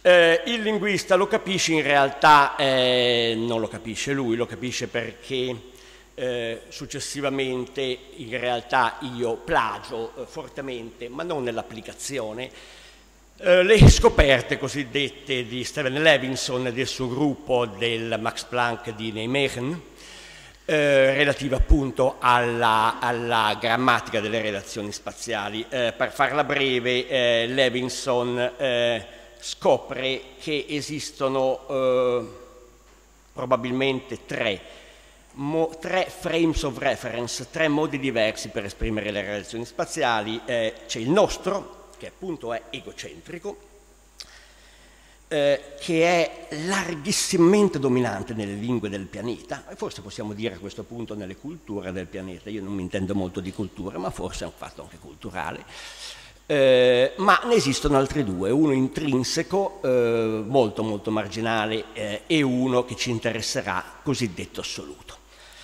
Eh, in pratica si tratta quindi di eh, immaginare che l'ancoraggio alle eh, relazioni spaziali non sia basato sul parlante, ma sia in qualche modo esterno. Ehm, Levinson e associati mm, investigano soprattutto, hanno scoperto soprattutto un sistema interessante di aborigeni australiani del Queensland, i Gugu Yimeder, mm, che utilizzano eh, un sistema eh, assoluto a punti cardinali cioè ogni membro del gruppo conosce sempre, in ogni circostanza, credetemi, eh, sempre sia proprio così, eh, la propria, la posizione propria degli oggetti rispetto ai punti cardinali. Come tutti sapete eh, il nord è esattamente dietro a me, io lo so perché ho una app che me lo dice, ovviamente non sono un Google Immeder, eh, comunque credetemi, il nord è esattamente lì. Ehm, come facciano a saperlo i Google Medire è un problema cognitivo che non abbiamo risolto, non hanno risolto ma non ci interessa. Eh, un po' più comune è il caso che l'ancoraggio esterno non avvenga sui punti cardinali, ehm, comunque definiti, il nord dei Gugui-Mivir è stato calcolato a una differenza di 13 gradi verso est rispetto al nord magnetico, ma resta comunque un sistema eh, a cardinali. Eh, un'altra possibilità è quello di ancorarli su qualche tratto saliente dell'ambiente e qui forse rientriamo anche un po' più nell'ambito del nostro eh, tema. Eh, questa è una brutta fotografia perché è una mia fotografia. Ehm, eh, siamo in una zona molto a sud, nell'Etiopia sud-occidentale, l'acrocoro etiopico qui è molto più basso, non abbiamo le altezze del nord, non siamo a 3.000 metri come ad Addis Abeba o quasi. Ehm, eh, diciamo che siamo sui 1200, 1500, le vette sono sui 1800, ma certamente le attività della comunità implicano un continuo spostamento in su e in giù. I maschi eh, scenderanno eh, per accompagnare le vacche su un altro cocuzzolo, eh, le donne ancora peggio scenderanno più volte al giorno per eh, fare acqua, eh, sia qui che in Etiopia l'acqua scorre in basso eh, e quindi bisognerà portarla. Ehm, e la vita eh, scorre felicemente sempre su e giù, probabilmente si può fare tutto meno che giocare a pallone, diciamo, questo potrebbe essere un problema. Eh, il fatto di vivere in questo ambiente certamente lo sappiamo bene, non è una condizione necessaria e sufficiente per avere un sistema di questo tipo che adesso cerchiamo di esplicitare, eh, forse necessaria sì. Eh, di nuovo per fare la breve, breve eh, si scopre che ehm, questo gruppo del sud-ovest etiopico e probabilmente, ma non abbiamo dati, eh, alcuni gruppi vicini, io ho lavorato solo qui su questa lingua, eh, indipendentemente dall'affiliazione genetica delle lingue della zona, ma questo è ancora un altro punto, ha un sistema appunto assoluto eh, basato come tutti questi sistemi su tre valori, non quattro. Eh, un sistema che è orientato sul nord-ovest perché è la zona alta, la zona delle montagne, noi lo glosseremo uphills. Eh, adesso io dovrei sempre girarmi in qua perché il nord-est è qua, però mh, mm, facciamo finta che permettetemi qualche eh, licenza poetica. Eh, un sistema orientato verso il basso, o in ultima analisi verso il Kenya, verso la piana e verso il deserto in realtà, che è il downhills, è un sistema ortogonale, eh, ortogonale a 90 gradi, non differenziato quindi tra una destra e una sinistra, così come quello degli aborigeni australiani non è differenziato tra un est e un ovest. Eh, eh, qui trovare una glossa non è così semplice, io lo chiamerò ortogonale, che non è esattamente una cosa molto semplice. Eh, fui, scopè, fui sorpreso di vedere che un sistema molto simile fu trovato nel Chiapas eh, un, presso un gruppo Maya, appunto da un'altra associata del gruppo di Nijmegen, eh, Penelope Brown, eh, appunto dove c'era un sistema uphill, downhill e un piano orizzontale. Piano orizzontale dà qualche problema probabilmente nelle assonanze. Allora, eh, possiamo anche rappresentarlo così, noi avremo a che fare con tre eh, radici, eh, uphills e ortogonalmente e un downhills. Eh, non posso eh, discutere eh, la ricchezza del sistema, che è veramente, forse non riesco a darvi un'idea, ma è veramente centrale nella lingua. Eh, per esempio la presenza di un'altra triade.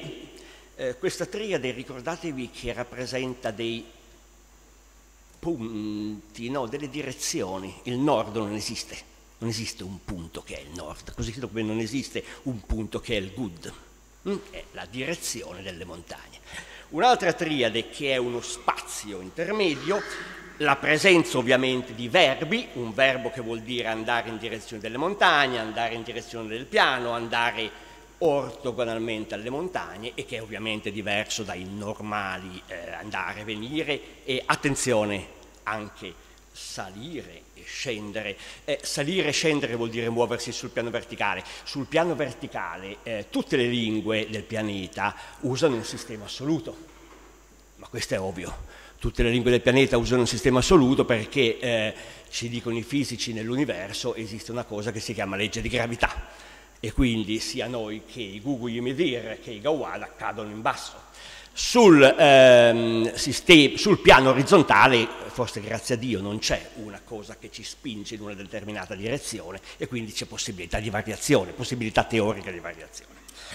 Ugualmente non posso raccontarvi la cosa più bella di questa lingua, cioè l'estrema ricchezza morfologica, se vi piace la morfologia questa è la vostra lingua, ehm, nel senso che eh, un sostantivo, questi sono sostantivi come gudego, regale, può avere degli affissi, cercherò in due minuti di parlarne in A e in U, può avere un'ultima consonante reduplicata per esprimere l'intensività in questo caso dell'azione, lo stesso meccanismo viene utilizzato nei nomi per esprimere la pluralità, nei verbi per esprimere altre cose ancora.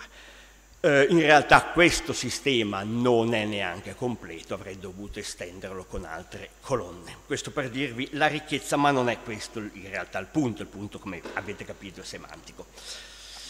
Insomma, fine della storia. Eh, alla fine eh, il, il, linguista avrà capito che eh, in questa lingua non potrà dire il cane è davanti all'uomo in questo caso, ma eh, dovrà dire, si vede, sì, eh, dovrà dire, cioè no, eh, il cane è a monte dell'uomo. Eh, sì, eh, le, gli alberelli poco africani sono la mia approssimazione alle montagne, scusatemi, non sono riuscito a fare di meglio. Il cane a monte dell'uomo o in, in Gawala, Haro Gauhido Kuta. Eh, un altro aspetto linguistico, l'ultimo prometto, è quello eh, di questi due morfemi che forse, a cui forse accennavo un attimo fa, cioè la A e la U. Eh, penso siano i due morfemi che mi hanno dato più problemi, non sono sicuro che la mia analisi sia quella corretta, mm, è quella più astratta, quindi quella che mi piace di più, quella più generale. Eh, A è un qualcosa che esprime centrifugo, fuori, via dall'attenzione del parlante che io glosso semplicemente out. U al contrario è centripeto, quindi eh, verso il parlante, verso il centro dell'attenzione. Eh, queste glosse dovete considerarle molto molto astratte. Tra questi due out è l'elemento non marcato, quindi quello che domina quando non c'è opposizione L'uso di questi due elementi A e U, a mio avviso, a mio avviso perché io analizzo un NA, una, una posposizione NA come N più A e NU come N più U, è enorme, NA può essere ablativo, può essere detrimentale, NU può essere allativo, benefattivo, eccetera, eccetera, soltanto degli esempi, grazie. Uso dimostrativo lo vediamo con un esempio e altre cose ancora quindi centrali nell'architettura e centrali nelle relazioni spaziali. Eh, usare un sistema assoluto vuol dire che eh, sarà difficile, non impossibile, ma mh, mm, certamente non comune dire semplicemente va là. Mm, perché il modo più comune sarà comunque di dire va là eh, verso le montagne. Io qui ho tradotto lassù, dove un lassù però è orizzontale, ricordate, in direzione delle montagne. Alternativamente un valà sarà un galà, ascia, cioè va in direzione del piano, oppure un gorà va ortogonalmente, eh, dove la A in questo caso implica il valore non marcato, sì, allontanamento, ma l'allontanamento è implicito nell'uso dell'imperativo del verbo andare. L'uso di questi due morfemi è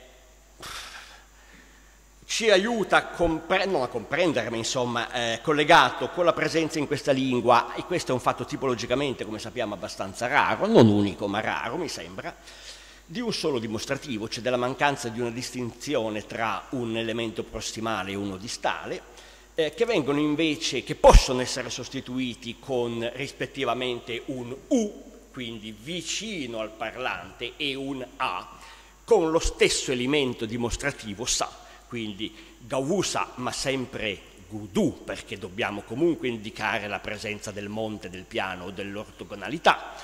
Usa Gudu vorrà dire quest'uomo, l'uomo qui, l'uomo qui verso la montagna.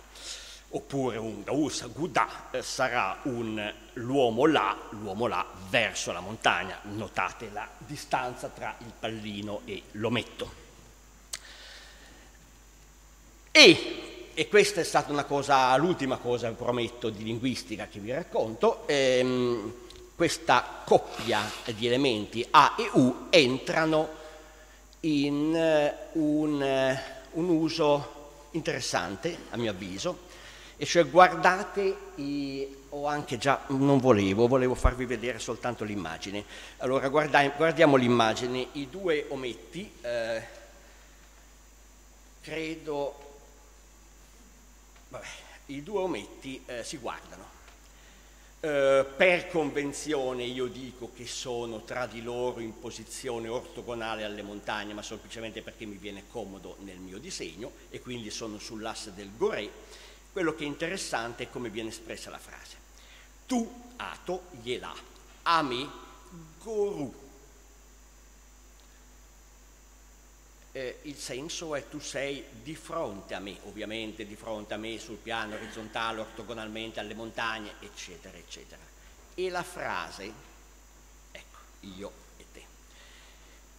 E la frase si oppone a questa immagine, in cui i due ometti sono sempre sul piano orizzontale, ortogonale alle montagne, eh, ma eh, non si guardano in italiano credo che sia espresso con un tu sei davanti a me oppure io sono dietro di te, alle tue spalle, eccetera.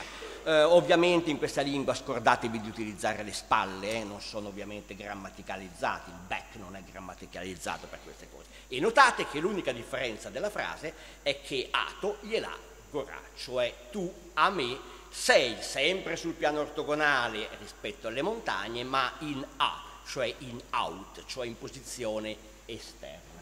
Come sono? No, abbiamo tempo per... Uh, allora abbiamo troppo tempo. Ehm,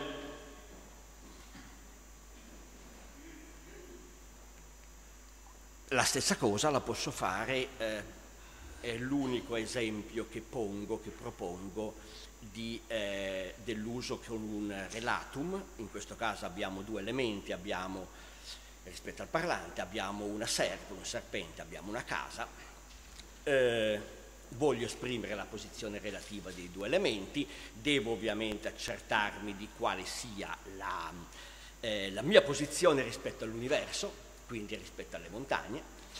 Eh, di nuovo per convenzione io li metto sul piano orizzontale, eh, perché notate la nostra convenzione, le montagne in qualche modo le assimilo al nord, il nord sulle nostre carte sta in alto, eccetera, eccetera, è puramente. Mm.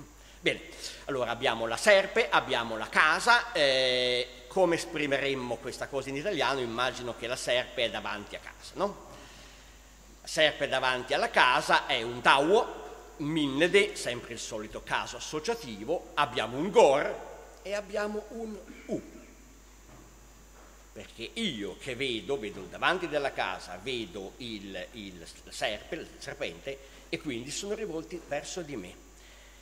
Se eh, uno dei due elementi si sposta, è più facile però che si sposti un serpente piuttosto che una casa, ehm, se il serpente si sposta, ovviamente io dovrò dire, restando fermo nella mia posizione, che il serpente è dietro alla casa, ma la posizione rispetto all'universo non è cambiata, siamo sempre in Gor, cioè siamo sempre ortogonalmente alle montagne. L'unico modo per esprimerlo è utilizzando, ormai avete capito il trucco, A, e quindi dicendo Tau minne de Gorà, ortogonalmente fuori. Il serpente è dietro alla casa. Eh, voglio tediarvi per qualche minuto con alcune non conclusioni ma riflessioni. Eh, è la penultima slide. Eh, No, non è esattamente quello che pensate. Eh, quando spiego queste cose agli studenti, in genere c'è sempre qualcuno che eh, non, ha, non, si è addormentato e, e, mi dice ma anche noi, anche noi dalle mie parti lo utilizziamo quando andiamo in montagna, tra l'altro noi siamo vicini alle montagne, noi andiamo in montagna e ovviamente tutti conosciamo a monte, a valle, l'abbiamo visto grammaticalizzato in inglese, up hills, down hills, a valle in francese, eccetera eh, se andate in barca conoscerete il babordo, tribordo, sottovento, sopravvento, tutte quelle diavolerie che io non capisco. Eh, perché sistemi di questo tipo che anche noi abbiamo non sono quello dei Gawade, non sono quello ancora più estremo dei Gugu Ymedir? Beh, questo non è spiegato bene da Levinson a mio avviso, eh, secondo me perché e quando noi utilizziamo, quando andiamo in montagna, nella nostra escursione, questi sistemi, eh, comunque, che io sappia, io non riesco neanche ad immaginare quello che eh, io chiamo l'uso locale, cioè eh, siamo in montagna, eh, io sono in cima alla cordata, voi siete a valle di me, ci fermiamo, facciamo il nostro spuntino, vi chiedo di passarmi l'acqua, ecco, eh, io dirò l'acqua davanti a te, l'acqua alla tua destra, eh, non l'acqua a monte, l'acqua a valle. Nella cambusa di una nave si parlerà di un sale che sta davanti al marinaio, non a babordo del marinaio. Non so se questo è il mio punto, ecco questo è quello che, che, che volevo dire. Quindi questo è un uso è un uso assoluto di un sistema assoluto, nel senso che è l'unico uso possibile. Ricordate che non possiamo usare eh, destra-sinistra, davanti-dietro, davanti si può utilizzare in altri contesti. Eh, la cosa che mi sembra interessante, questa sì la prendo da Levinson che la discute, è che a questo punto alcuni sistemi spaziali non sono traducibili, cioè eh, è uno dei, eh, dei casi in cui le lingue umane non hanno una traducibilità banalmente eh, non c'è un modo univoco in cui un eventuale ipotetico romanzo scritto in Gawada e utilizzasse eh, guru eh, sia traducibile in una qualunque delle nostre lingue. Certo, per convenzione potrei dire che il guru è sempre a destra, va bene, ma sarebbe la mia convenzione. Questa non traducibilità, a mio avviso, implica eh, una diversità strutturale robusta molto molto forte.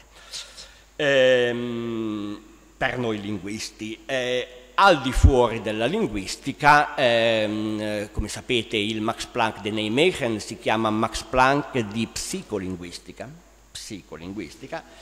Eh, ovviamente differenze di questo tipo implicano, hanno implicazioni cognitive enormi, eh, che non sono di mio interesse né capacità particolare, che vengono ben descritte, le visioni che soprattutto danno, creano molte piste per possibili esperimenti. Eh, è molto bella la parte in cui spiegano i vari esperimenti a cui eh, il gruppo sottopone i poveri aborigeni Gugu Yimidir, no? eh, non contenti di sapere dov'è il nord, li portano in giro eh, in un posto sconosciuto fuori dalla zona Gugu Yimidir e gli dicono allora dov'è il nord e il Gugu Yimidir ovvio è lì non contenti li portano in giro di notte, adesso dov'è il nord? Non contenti li portano al chiuso e ugualmente con una piccola variazione che viene documentata dai nostri studiosi, eh, una piccola variazione anche all'interno della comunità, come ovvio, però c'è una solida, robusta conoscenza, ecco, il nord è là. Ehm, come si abbia questa conoscenza se, tutta, se la specie umana l'avesse e l'abbia persa, se eh, e tante altre cose non le sappiamo, eh, vari esperimenti sono condotti anche in Europa su possibili eh, capacità di orientamento diverso tra gruppi di persone, testare anche le vecchie idee eh, ricevute, le idee, i preconcetti, non lo so, gli uomini, è vero che gli uomini hanno un maggiore senso dell'orientamento delle donne, non lo sappiamo, eh, e così via. Mm. forse gli uomini hanno un maggiore senso ragione delle donne, però le donne chiedono informazioni, quindi non si perdono, invece gli uomini si perdono, questa almeno nella mia esperienza è così. Ehm, Levinson eh, può soltanto accennare perché non ha una risposta, non abbiamo una risposta ed è ovviamente puramente speculativa. Alla grossa domanda e ci avviciniamo all'ultima slide, perché eh, i sistemi relativi che sono così complessi, sono veramente complessi, eh, oggi sappiamo, eh, cominciò a studiarli Piaget tanti tanti anni fa, oggi sappiamo che un bambino impara il nostro sistema in cui quello che è alla sua destra quando parla con chi è davanti a lui diventa la sinistra, deve immedesimarsi nell'interlocutore. È un sistema di una complessità enorme che molti bambini riescono ad acquisire soltanto in età scolare, quindi molto tardi, molto complesso, variazione all'interno anche dei sistemi relativi. Bene, ma perché? I sistemi assoluti sono semplici. I sistemi assoluti sono semplici perché ricordatevi che il nord non si sposta, siamo noi a spostarci e le montagne non si spostano eh, perché un sistema relativo è così dominante nella storia, nelle culture, possiamo dire, nelle lingue del pianeta. Non sappiamo quanto, ma non mi stupirei se fossimo al 95%. Non lo so, non lo sa nessuno. Eh, c'è una pista che viene solamente accennata da Levinson che io vorrei investigare, non lo farò, non l'ho fatto per ora sul Gawada, e che è legata alla memoria visiva, e a, chiamiamoli, mondi immaginari, cioè come viene raccontata una storia. Io ovviamente ho delle storie, degli etnotesti, eh, in cui si muovono degli umani o si muovono delle, degli animali. Nelle favole gli animali ovviamente andranno verso il monte, verso il piano, ortogonalmente, non lo so, no, non lo so eh, se del, in modo del tutto casuale, probabilmente c'è una certa convenzione comunitaria per cui ci si sposta in certe direzioni.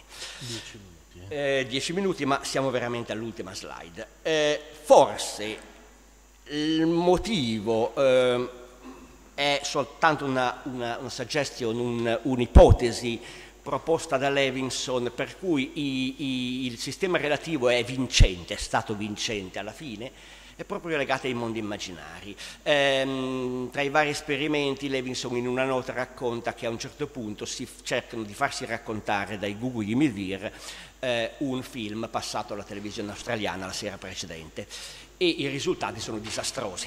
I risultati sono disastrosi e in una battuta lui dice se vi fate raccontare il film da un Gugu di Milvir non capite niente del film ma capite tutto di come è fatto il soggiorno di casa sua. Eh, perché eh, immagino che eh, conosciate eh, Ingrid Bergman e ehm, Humphrey Bogart in scena finale, credo, di Casablanca. Cerchiamo di analizzarlo dal punto di vista dello spazio. Ultimi due minuti. Eh, va bene, i due si guardano, i due si guardano, è una scena di addio, mi sembra. C'è l'auto dietro che porterà via Ingrid Bergman. Eh, I due si guardano, quindi sono certamente U in Gawada, eh? è centripeto, non è centrifugo, ma U che cosa? Perché uno lo posso utilizzare da solo. Eh, notiamo che Ingrid Bergman è a destra di Humphrey Bogart, o se volete, Humphrey Bogart è a sinistra di Ingrid Bergman. Questo è il punto fondamentale.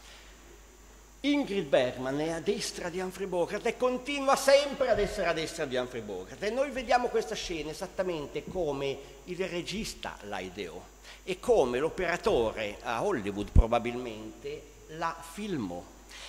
E eh, Ingrid Bergman continua a essere a destra indipendentemente dalla vostra posizione, dal luogo, nello spazio in cui guardate il film, eh, potremmo anche essere su un'astronave. Guardando il film, Ingrid Bergman sarebbe sulla potrebbe, sarebbe anzi, scusate, sulla destra anche in qualunque posizione noi proiettassimo questa cosa. È eh, difficile spostare l'aula magna, però forse potremmo spostare lo schermo, potremmo proiettare forse eh, il film sul soffitto, sarebbe soltanto più scomodo, ma Ingrid Bergman sarebbe sulla destra. E perché Ingrid Bergman è sulla destra? È sulla destra perché noi con un sistema relativo possiamo entrare in che cosa? È entrare eh, dentro la cornice reale del televisore o immaginaria, immedesimarci nel sistema e adottare i nostri assi immaginari per definire la posizione di Ingrid Bergman e Humphrey Bogart.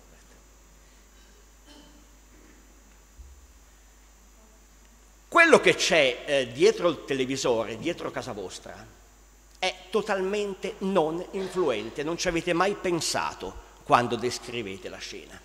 Ma c'è qualcosa dietro casa vostra. Ci saranno le montagne, casa vostra sarà orientata verso sud forse, ma non è importante. Ma immaginate per un momento soltanto che scompaia la cornice. Che scompaia la cornice che voi siate in un sistema assoluto.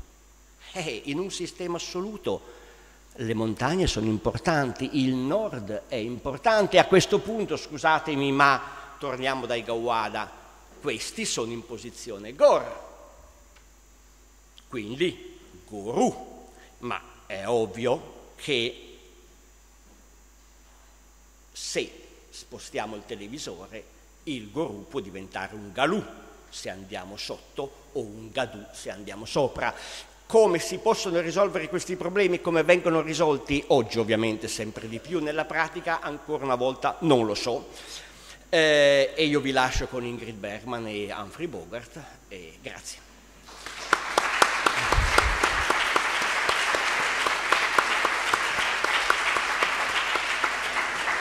Allora, grazie a Mauro Tosco per questa colorata e colorita presentazione. Eh, abbiamo 5 minuti eh, di tempo per la discussione. Ma, eh, Maurizio Niere, Paolo Ramat e ehm. Ecco. Eh, chi, chi, mh, mm, dal, alla bontà dei... cioè le domande possibilmente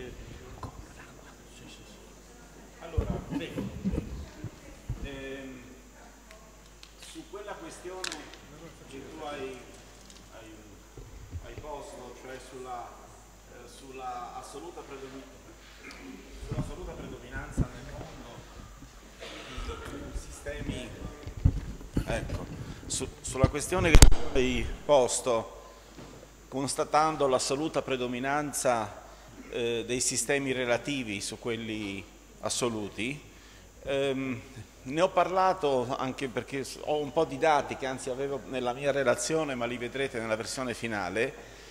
C'è per i sistemi assoluti, perlomeno in certi ambienti, in certi ambienti eh, biologici, eh, tipo quelli delle selve tropicali che occupano delle, una fascia importante del pianeta, ehm, l'identificazione del nord e del sud può essere davvero, davvero, davvero problematica. E ho, e ho dati che e anche est e ovest non è così ovvio, ma nord e sud non c'è dubbio.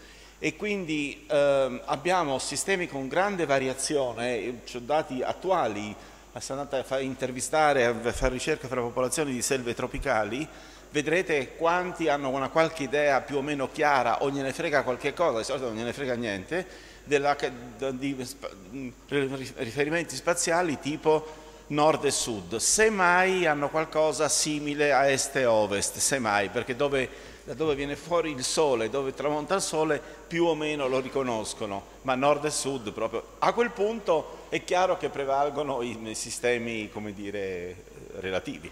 Eh, infatti credo che il sistema assoluto eh, forse non è unico in cui ma è documentato sistema assoluto cardinale, cioè quello basato sui punti cardinali. In questo caso, eh, mh, mm, forse ho fatto confusione, parliamo di una Pils e di un Downhills, eh, casualmente, tra virgolette, le montagne in questo caso sono, beh, se siete nel sud-ovest dell'Etiopia, le montagne sono a nord-est. Ecco. Mm. Non è legato ai punti cardinali, no. Ehm, vabbè. C'è anche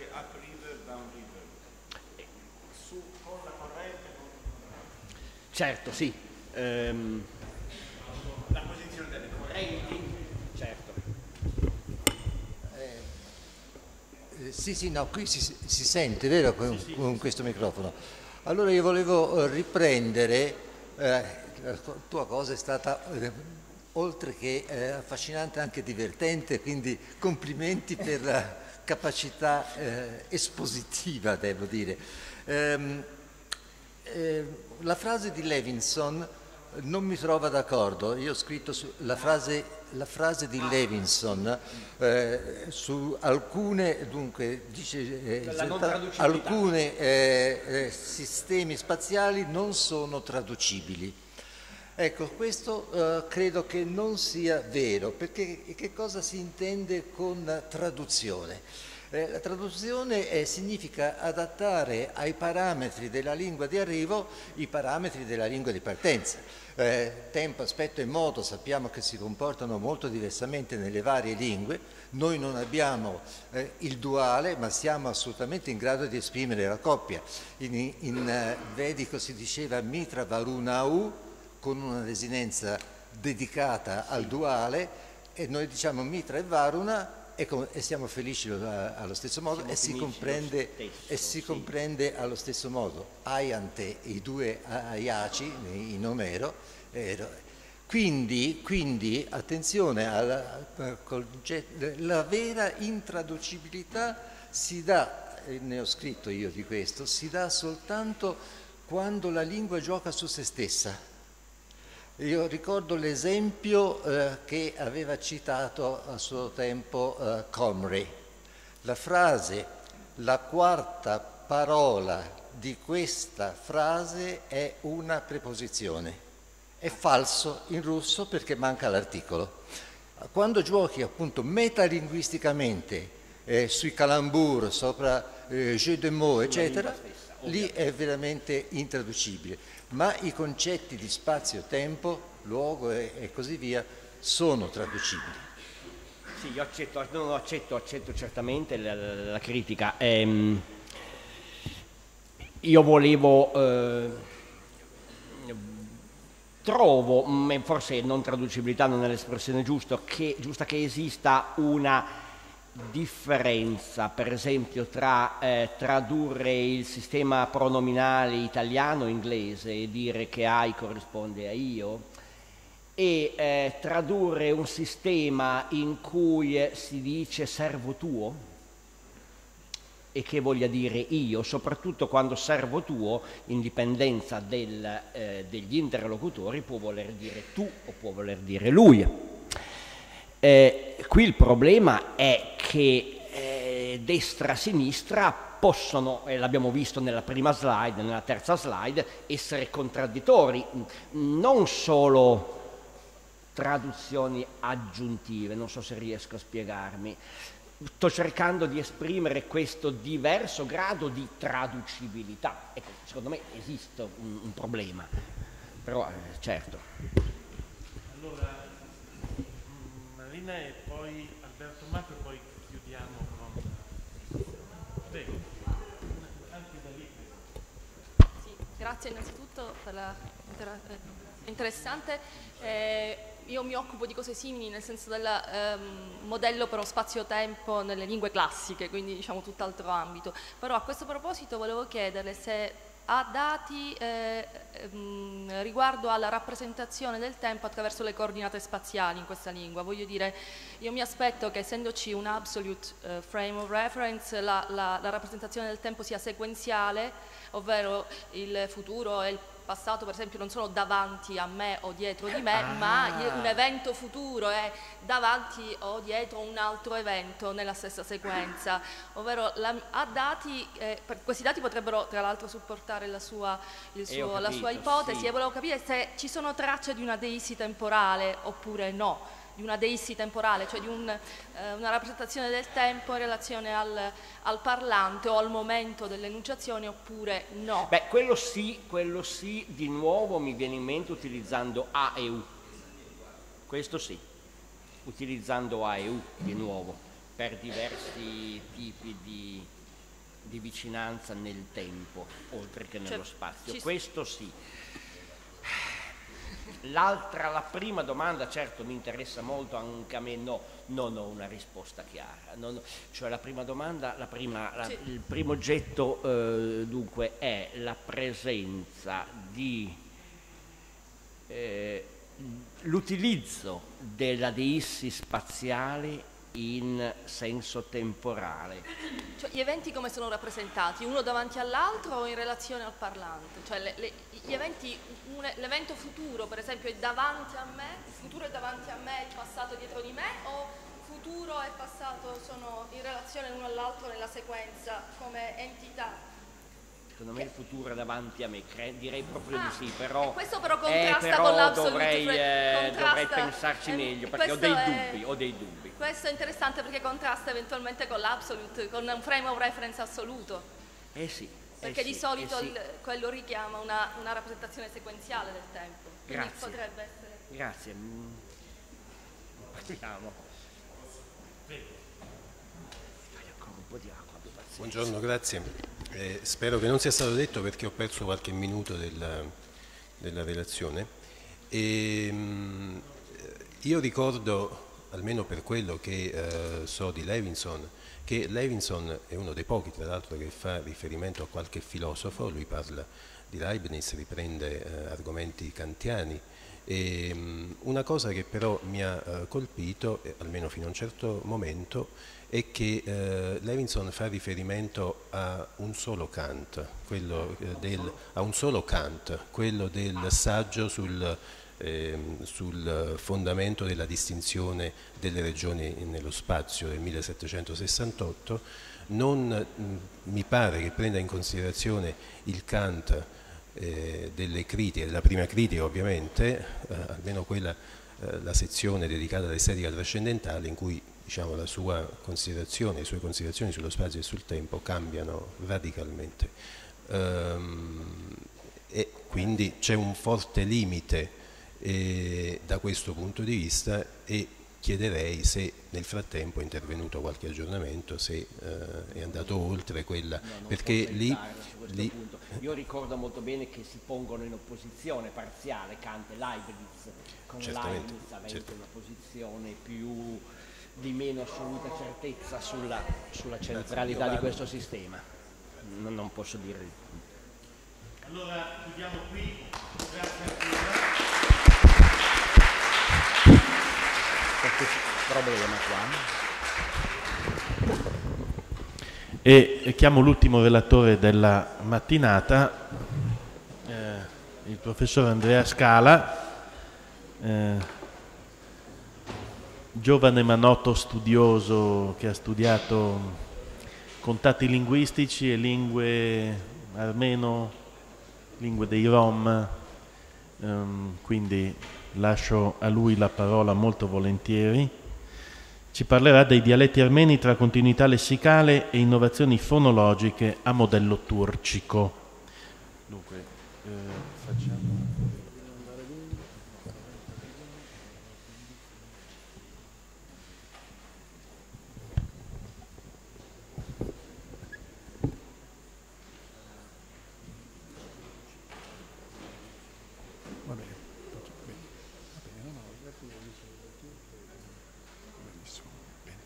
Buongiorno a tutti, grazie a Barbara Turchetta, organizzatrice di questo convegno, per l'invito a tenere questo intervento.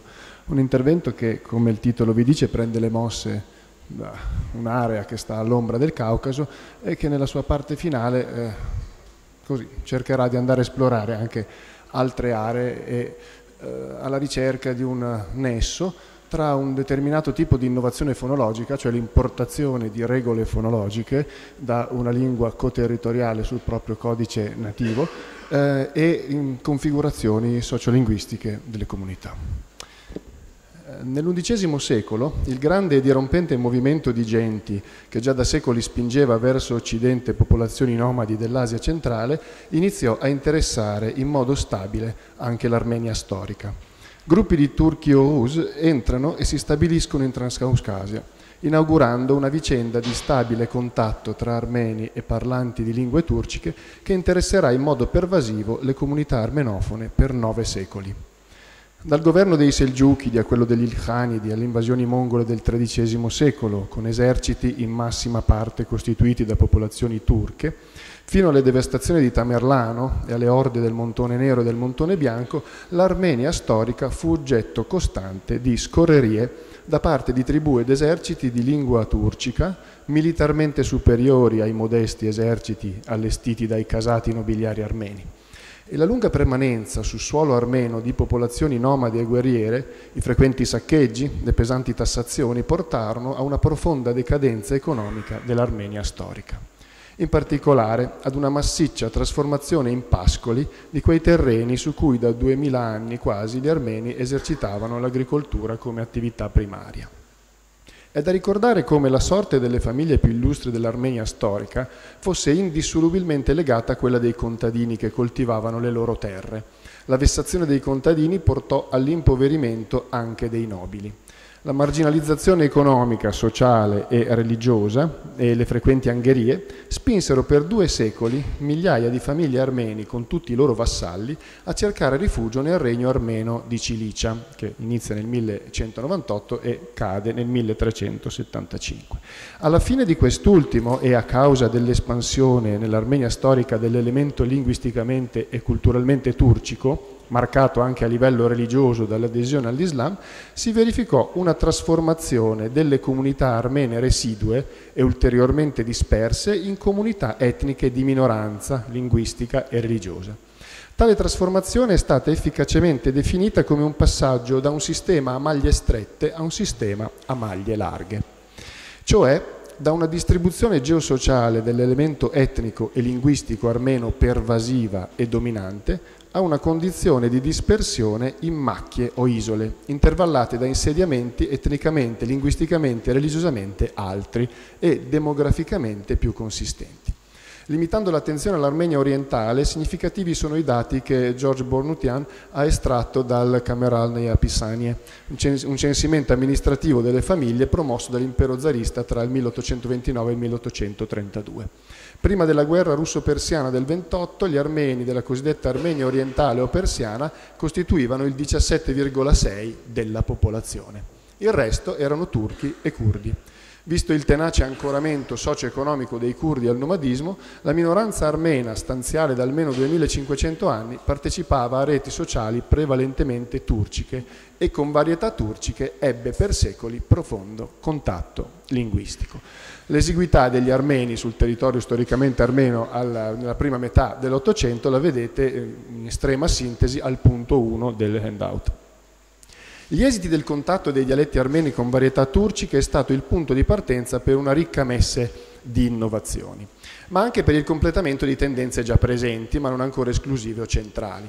Tra queste ricorderemo rapidamente il completamento della transizione verso una tipologia morfologica agglutinante nel nome e verso un ordine dei costituenti coerentemente SOV. Se è vero che, come ha mostrato Yasmine Duntragut, il mutamento dell'ordine delle parole era in corso da secoli, e già l'armeno di Cilicia poteva dirsi una lingua AN e GN, tuttavia in questa varietà medievale di armeno le preposizioni sono ancora assolutamente dominanti. Al contrario, le varietà moderne presentano un chiaro orientamento verso le postposizioni.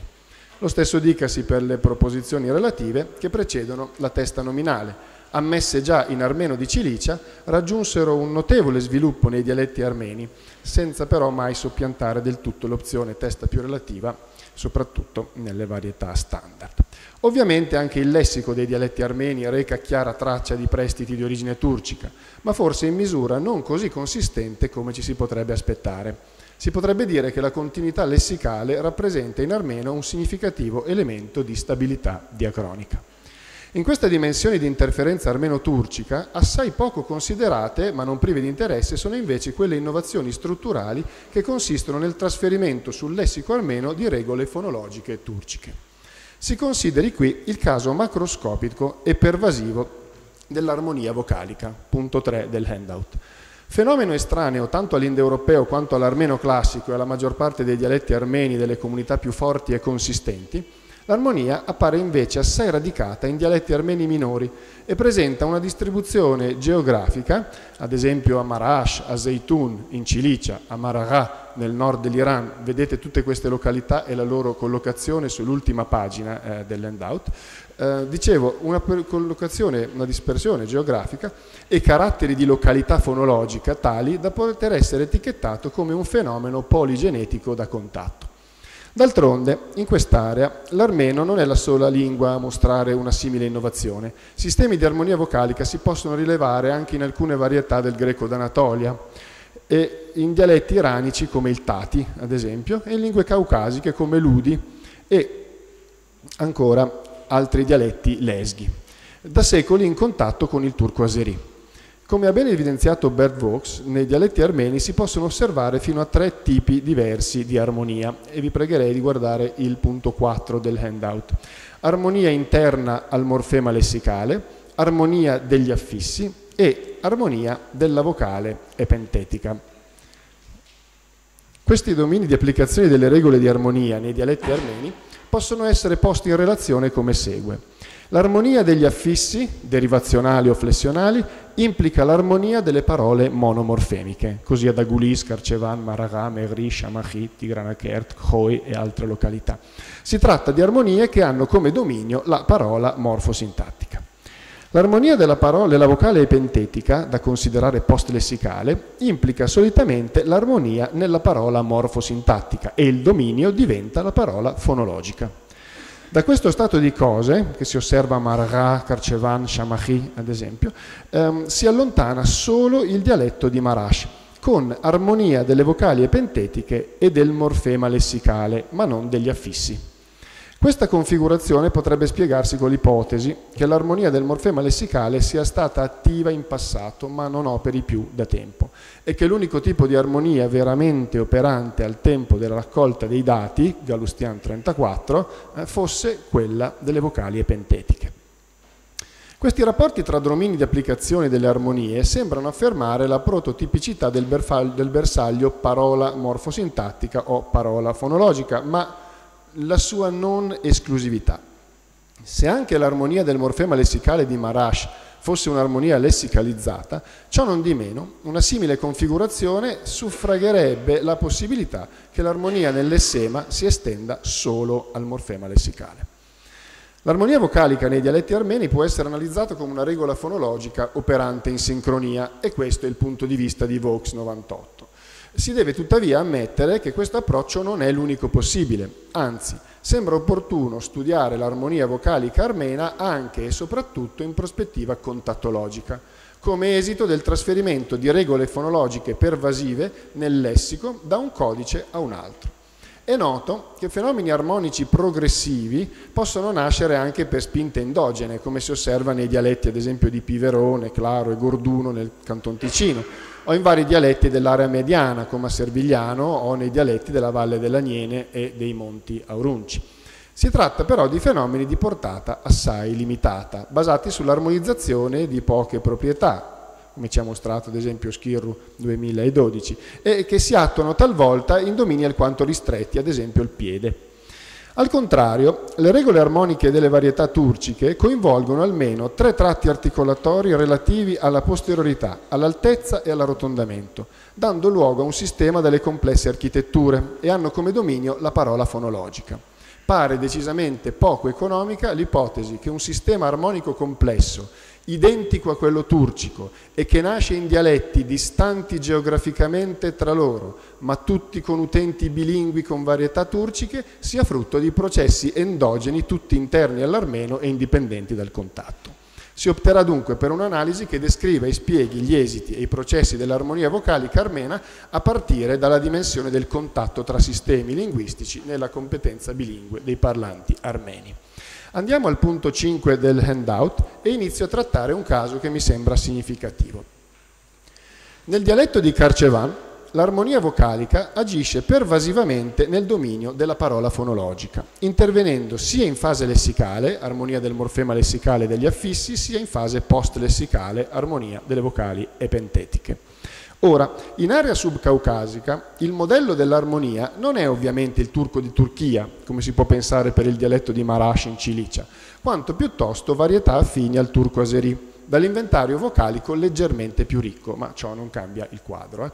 Il dato più interessante è che a Carcevan la vocale epentetica E conosce un pattern di armonia governato da regole in parte diverse da quello del modello turcico da cui origina. La regola è stata importata, ma l'output è differente. Partiamo dall'esame del modello, eh, al punto 5.1.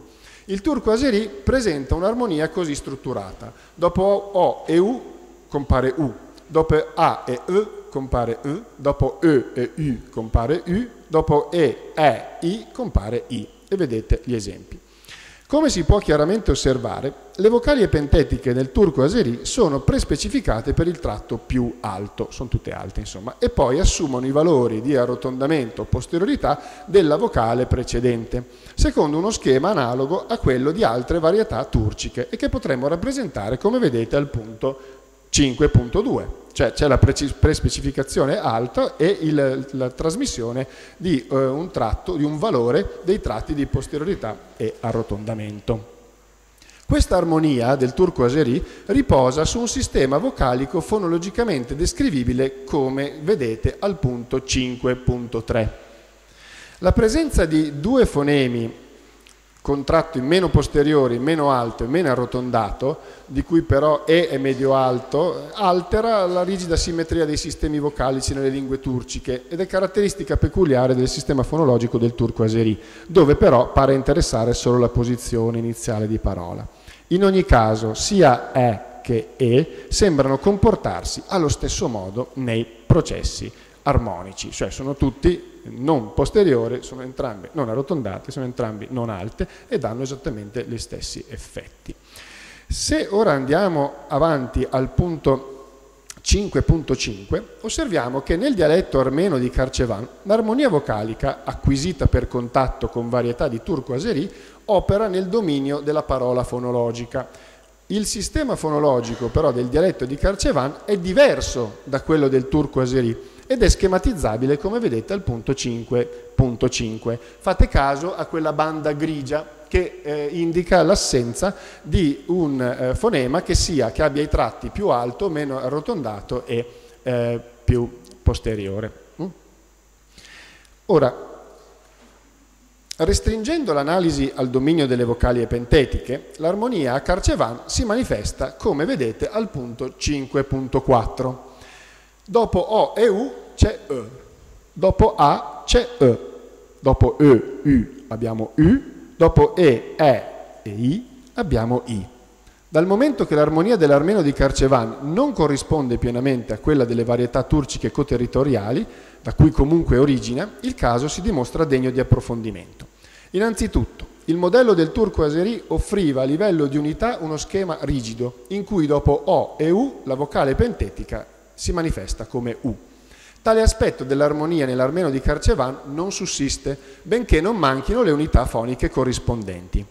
Se l'acquisizione dell'armonia vocalica fosse basata sull'imitazione di sequenze ammesse di unità di superficie, se fosse cioè un processo determinato solo dall'imitazione degli output dell'armonia turcica e senza relazione con i processi fonologici della lingua modello, non si troverebbe il modo di spiegare questa differenza ovvero sia essendoci ben presente U a disposizione dei parlanti armeni perché non emerga come esito di armonia, è, è, è difficile da spiegare in un modello che parta da un'acquisizione dell'armonia basata sugli output armonici, cioè da quello che io sento nel dire da chi nella mia comunità usa un'altra lingua. L'ipotesi che mi sento di proporre è che in una prospettiva di bilinguismo profondo e pervasivo, la diffusione dell'armonia non dipenda dall'unità del modello e della replica, quanto piuttosto dalle proprietà. Ma questo lo vedremo, diciamo, eh, abbondantemente. Um, scusate. L'armeno di Carcevan conosce un'unità fonologica che si manifesta come U e che è foneticamente identica al modello turcico. Essa però non emerge come esito di armonia dopo O e U e inoltre A compare come vocale epentetica. Scusate, inoltre dopo A compare come vocale pentetica E priva di valore fonologico e dunque non coinvolta nell'armonia. Dicevo che l'ipotesi che penso di proporre è che ehm, la diffusione dell'armonia non dipenda dall'unità del modello e della replica, quanto piuttosto dalle proprietà. La regola non sarebbe stata indotta da prestiti e da essa estrapolata, ma sarebbe stata trasferita da un ramo all'altro del bilinguismo nella sua forma combinatoria primaria, basata sui tratti e non sui segmenti. Una rappresentazione dell'armonia a Carcevan la trovate al punto 5.6, una rappresentazione autosegmentale. Si può notare che l'unico tratto che viene trasmesso alle vocali armoniche è quindi il valore di arrotondamento all'interno di un dominio meno posteriore. Solo le vocali anteriori in sostanza partecipano all'armonia. In questo quadro il dato centrale rimane che le vocali posteriori non danno luogo a processi armonici e soprattutto che, a differenza di quanto si trova nelle varietà turciche di contatto, nel dialetto di Carcevan non ci sia traccia dell'output U, dopo O e U. Qui un ruolo cruciale è svolto dall'assenza di una vocale centrale, come E o E, in termini di armonia una vocale posteriore alta ma non arrotondata nell'inventario fonologico del dialetto di Carcevan. Ricordate la banda grigia, la casella vuota. Um, la serie posteriore manca di una casella con i tratti più alto, meno arrotondato e così l'unica vocale più posteriore più alto è U, che all'interno dell'armonia può essere considerata come non specificata per il tratto arrotondato. Se non c'è una controparte arrotondata, non arrotondata, la specificazione più arrotondata non sussiste. Quindi, ecco, detto semplicemente così, la regola dell'armonia attribuisce prima una prespecificazione di default più alto, e questo lo fa sia nel ramo turcico che nel ramo armeno. Poi una seconda specificazione più posteriore. All'interno di questo dominio poi specifica il valore di arrotondamento. Il sistema fonologico del dialetto di Carcevan non consente il completamento del processo con la specificazione del tratto arrotondato, perché l'unica vocale che sia più alta e più posteriore non fa parte di un sistema di opposizioni che specifichi il valore del tratto arrotondato. È probabilmente in conseguenza di ciò che l'intera classe delle vocali posteriori viene esclusa dall'armonia. In questa prospettiva l'armonia delle vocali epentetiche a Carcevan sarebbe l'esito del trasferimento di una regola da un ramo all'altro del bilinguismo, una regola che opera come selezione di tratti e non di unità. E il sistema fonologico replica, ossia quello armeno, per la sua diversa configurazione e soprattutto per l'assenza di un segmento fonologico con le specificazioni più posteriore, più alto, meno arrotondato, dà luogo a un output di armonia diverso pur applicando la stessa regola. Molto diversa è la situazione di Marash, punto 6 del handout, in cui si trova armonia nelle parole monomorfemiche ma non negli affissi. C'è inoltre l'armonia della vocale pentetica, che in questo dialetto è identica a quella del turco. Come si può vedere dagli esempi riguardanti l'articolo n, che dopo consonante presenta sviluppo della vocale pentetica e cancellazione della nasale, per cui dopo vocale abbiamo ege fa egen, il giardino, no? però kurag non fa curragn, ma fa currag.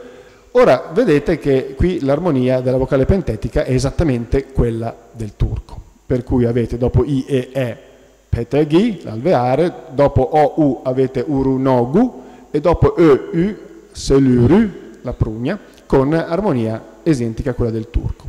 Come spiegare le differenti situazioni tra Carcevan e Marash?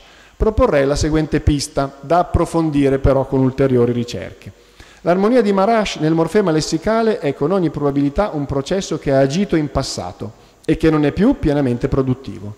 Una volta morta la regola, il vocalismo delle forme fonetiche diventa fonologico e in questo contesto anche E, solitamente post-lessicale, può fonologizzarsi. Al processo di fonologizzazione possono ovviamente contribuire anche prestiti lessicali che creino nuove coppie minime o mutamenti che portino E a comparire in posizioni non predeterminabili mediante regole, mentre quando è a livello di vocale epentetica è sempre predeterminabile mediante regole. Un simile processo o complesso di processi può aver portato a una ristrutturazione del sistema fonologico di Marash che avrebbe così colmato quel gap che la separava da quello turco cioè l'assenza di una vocale armonica posteriore alta non arrotondata. L'armonia delle vocali epentetiche a Marash costituisce un più recente calco fonologico sul modello turco e la riproduzione perfetta del modello avrebbe luogo solo perché i sistemi fonologici sarebbero ormai identici. Se questa ricostruzione è plausibile e veramente l'armonia del morfema lessicale non è più attiva nel dialetto di Marash, bisogna ammettere che l'armonia nelle vocali epentetiche può svilupparsi in modo indipendente dalla presenza di una regola armonica attiva nel dominio della parola morfosintattica. Degno di un cenno è anche la questione dell'armonia nella composizione. E eh, guardate al numero 7 del handout, al punto 7. Se prendiamo ad esempio un dialetto armeno con armonia vocalica nella parola morfosintattica, morfema lessicale più affissi, insomma, quel, come quello di Merri, Merri, i composti ammettono disarmonia e i due lessemi conservano inalterate le proprie vocali quando entrano in composizione. La vocale composizionale A, che raccorda i due lessemi, subisce invece armonia di posteriorità. In tale prospettiva appare evidente come l'armonia operi a partire da sinistra e si arresti solo qualora incorra in un nuovo lessema. La vocale composizionale A, qualunque cosa fosse e sia, è dunque assegnata al primo lessema entrato in composizione e trattata alla stregua di un affisso in parola morfosintattica. Si veda, ad esempio, rajur, salamoia, ar l'acqua, eh, giure l'acqua, ar il sale, quindi acqua di sale, una cosa di questo genere, rispetto al classico arajur, e, ma al contrario l'isamut contro il classico lusamut, dove vedete che nel, nel secondo caso abbiamo una eh, serie armonica con il tratto eh, meno posteriore. Solo nella prima parola, però, fino alla vocale composizionale che si manifesta infatti come è. L'armonia vocalica, presente in numerosi dialetti armeni, definiti spesso turchizzati, è un fenomeno pervasivo di manipolazione fonologica del lessico. I timbri vocalici imposti dall'armonia rendono i dialetti armeni armonici assolutamente incomprensibili ai parlanti di dialetti del tutto affini ma non armonici. L'acquisizione dell'armonia vocalica nei dialetti armeni costituisce dunque un caso interessante di trasferimento di regola fonologica sul proprio codice nativo, un codice tutt'altro che in decadenza strutturale, ma confinato a domini d'uso in cui il valore indessicale degli enunciati conta quanto il loro contenuto. Cioè parlare armeno nelle piccole comunità armene fluttuanti in un mare turcico era un atto dalla forte valenza identitaria, un marker di appartenenza ad una comunità di netta minoranza ma di spiccata autoconsapevolezza. Eh, vi invito ad andare al punto 8 del handout perché volevo presentarvi rapidamente situazioni analoghe, sociolinguisticamente analoghe, in cui si verificano importazioni di regole fonologiche sul codice nativo. Situazioni analoghe di manipolazione fonologica mediante regole della lingua coterritoriale si trovano in casi sociolinguisticamente affini e mi limito ad offrirne alcuni esempi. Nella Romania d'Abruzzo almeno sette regole fonologiche sono importate dai dialetti abruzzesi coterritoriali, al momento non sarei in grado di segnalare nessuna regola fonologica che non sia condivisa con l'abruzzese. Le unità fonologiche dei due inventari rimangono tuttavia distinte e se si volesse entrare in alcuni casi si vedono cose interessanti una regola che viene importata dalle varietà abruzzesi, viene applicata a un sistema fonologico differente e dal momento che la regola è fatta di combinazioni di tratti e non di unità, va ad afferrare anche unità assenti in abruzzese e presenti invece nella lingua coterritoriale, come vedete al punto 1, dove la propaginazione va a interessare anche le fricative velari e molto altro si potrebbe dire, ma vi presento solo una carrellata di queste cose.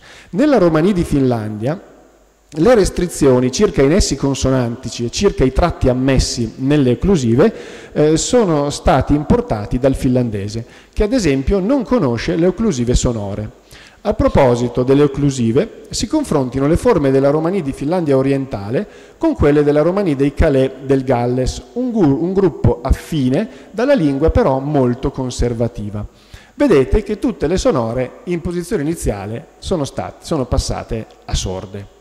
Ora, il fatto è che questo in tutti i dialetti della Romania avviene solo qui, dove c'è bilinguismo con una lingua che non ammette le, le sonore in posizione iniziale. A destra avete eh, diciamo un'indicazione della fonte etimologica che ci conferma come la sorda sia secondaria, sicuramente. Mm. È da notare inoltre come la perdita di sonorità nella Romania di Finlandia riguardi spesso anche l'affricata sonora z nata dalla depalatalizzazione dell'alveo palatale G, come si può vedere in Zanaa, io so, rispetto ad altri dialetti che hanno Janav, oppure in Zuclo, cane, che equivale a giuclo di altri dialetti.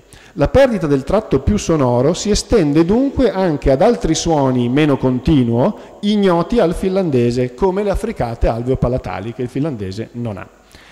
Nello yiddish orientale, ad esempio in quello parlato in Bielorussia, O in sillaba pretonica diventa A. Khalile per Holile, Dio ci scampi. Akorst per Okorst, una particella enfatica che si pone dopo l'imperativo. Inoltre si sviluppa una realizzazione palatalizzata subfonemica delle consonanti davanti a vocale anteriore, anche nelle parole di tradizione tedesca. Infine, Mm, si costituisce un sistema di opposizione sorde sonore anche in fine di parola, e questo non è certo un tratto slavo, ma in sandi sintattico la sordità o la sonorità delle consonanti finali è governata dalla sonorità o sordità della consonante iniziale della parola successiva. Tutti questi fatti fonologici, e altri ancora, sono estranei alle varietà di Yiddish che non siano collocate a contatto con lingue slave o baltiche. Le piccole comunità di minoranza, cerco di tirare le somme di, questo, di questi dati, le piccole comunità di minoranza dalla forte identità che, bilingui da secoli, con una lingua di prestigio molto più alto, si servono ancora della loro lingua ereditaria come marker identitario, potrebbero costituire una tipologia sociolinguistica. E vi prego di guardare la semplice modellizzazione che ho proposto al punto 9 dell'handout. E per quanto ho potuto vedere, questo contesto sociolinguistico sembra aprire maggiormente la strada alla progressiva convergenza verso i processi fonologici della lingua coterritoriale, parlata dalla cultura maggioritaria. Ciò però accade quando il lessico sia diverso da quello della comunità maggioritaria. Alla riflessione metalinguistica del parlante, infatti, la parola si presenta come l'unità più saliente ed è pertanto soprattutto il lessico a farsi carico dell'espressione di valori identitari. Una conferma di ciò si può vedere nelle varietà di pararomani come il Lomavren d'Armenia, il piemontese sinto in Italia o l'anglo-romani delle isole britanniche. Codici fortemente identitari con funzione di rinforzo alla coesione endocomunitaria caratterizzati da grammatica e parte del lessico della lingua coterritoriale e inserzioni lessicali graduabili dal codice tradizionale, non più strutturalmente autonomo e che ormai sopravvive, simile funzionalmente a un gergo, solo come residuo lessicale talora anche ampio. Ma insomma il lessico basta a marcare la distanza. È l'ultima cosa a cui ci si affida, ma è anche la prima in realtà, no? è quella di più lunga durata. Laddove infatti la distanza lessicale rimane grande, si può convergere verso la fonologia sintagmatica del codice maggioritario o addirittura appoggiarsi totalmente su di essa. Restano i lessemi, con tutta la loro salienza, a marcare la differenza. Nella modellizzazione ho cercato di indicare proprio questo. Le regole fonologiche di una lingua meno prestigiosa, in condizioni di bilinguismo nativo sostanzialmente, tendono a convergere verso quelle di una lingua più prestigiosa, l'altro ramo del bilinguismo, quando la distanza lessicale è ampia, il primo trapezio diciamo.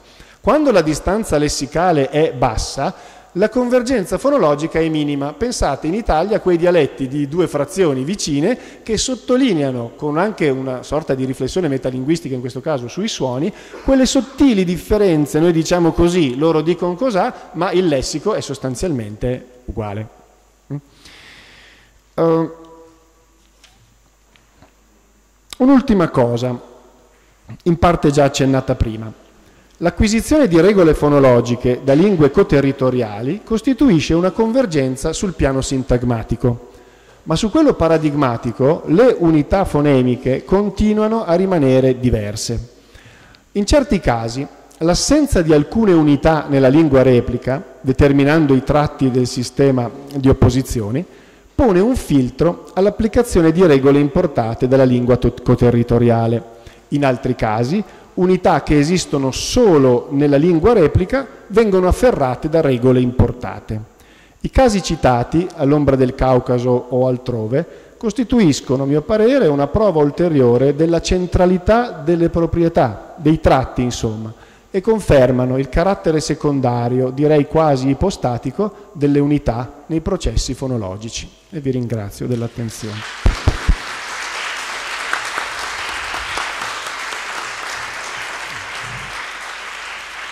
Allora, grazie per questo ricco quadro eh, molto stimolante e ci sono ben eh, 13 minuti per la discussione. Devo andare più chiaro. Mm.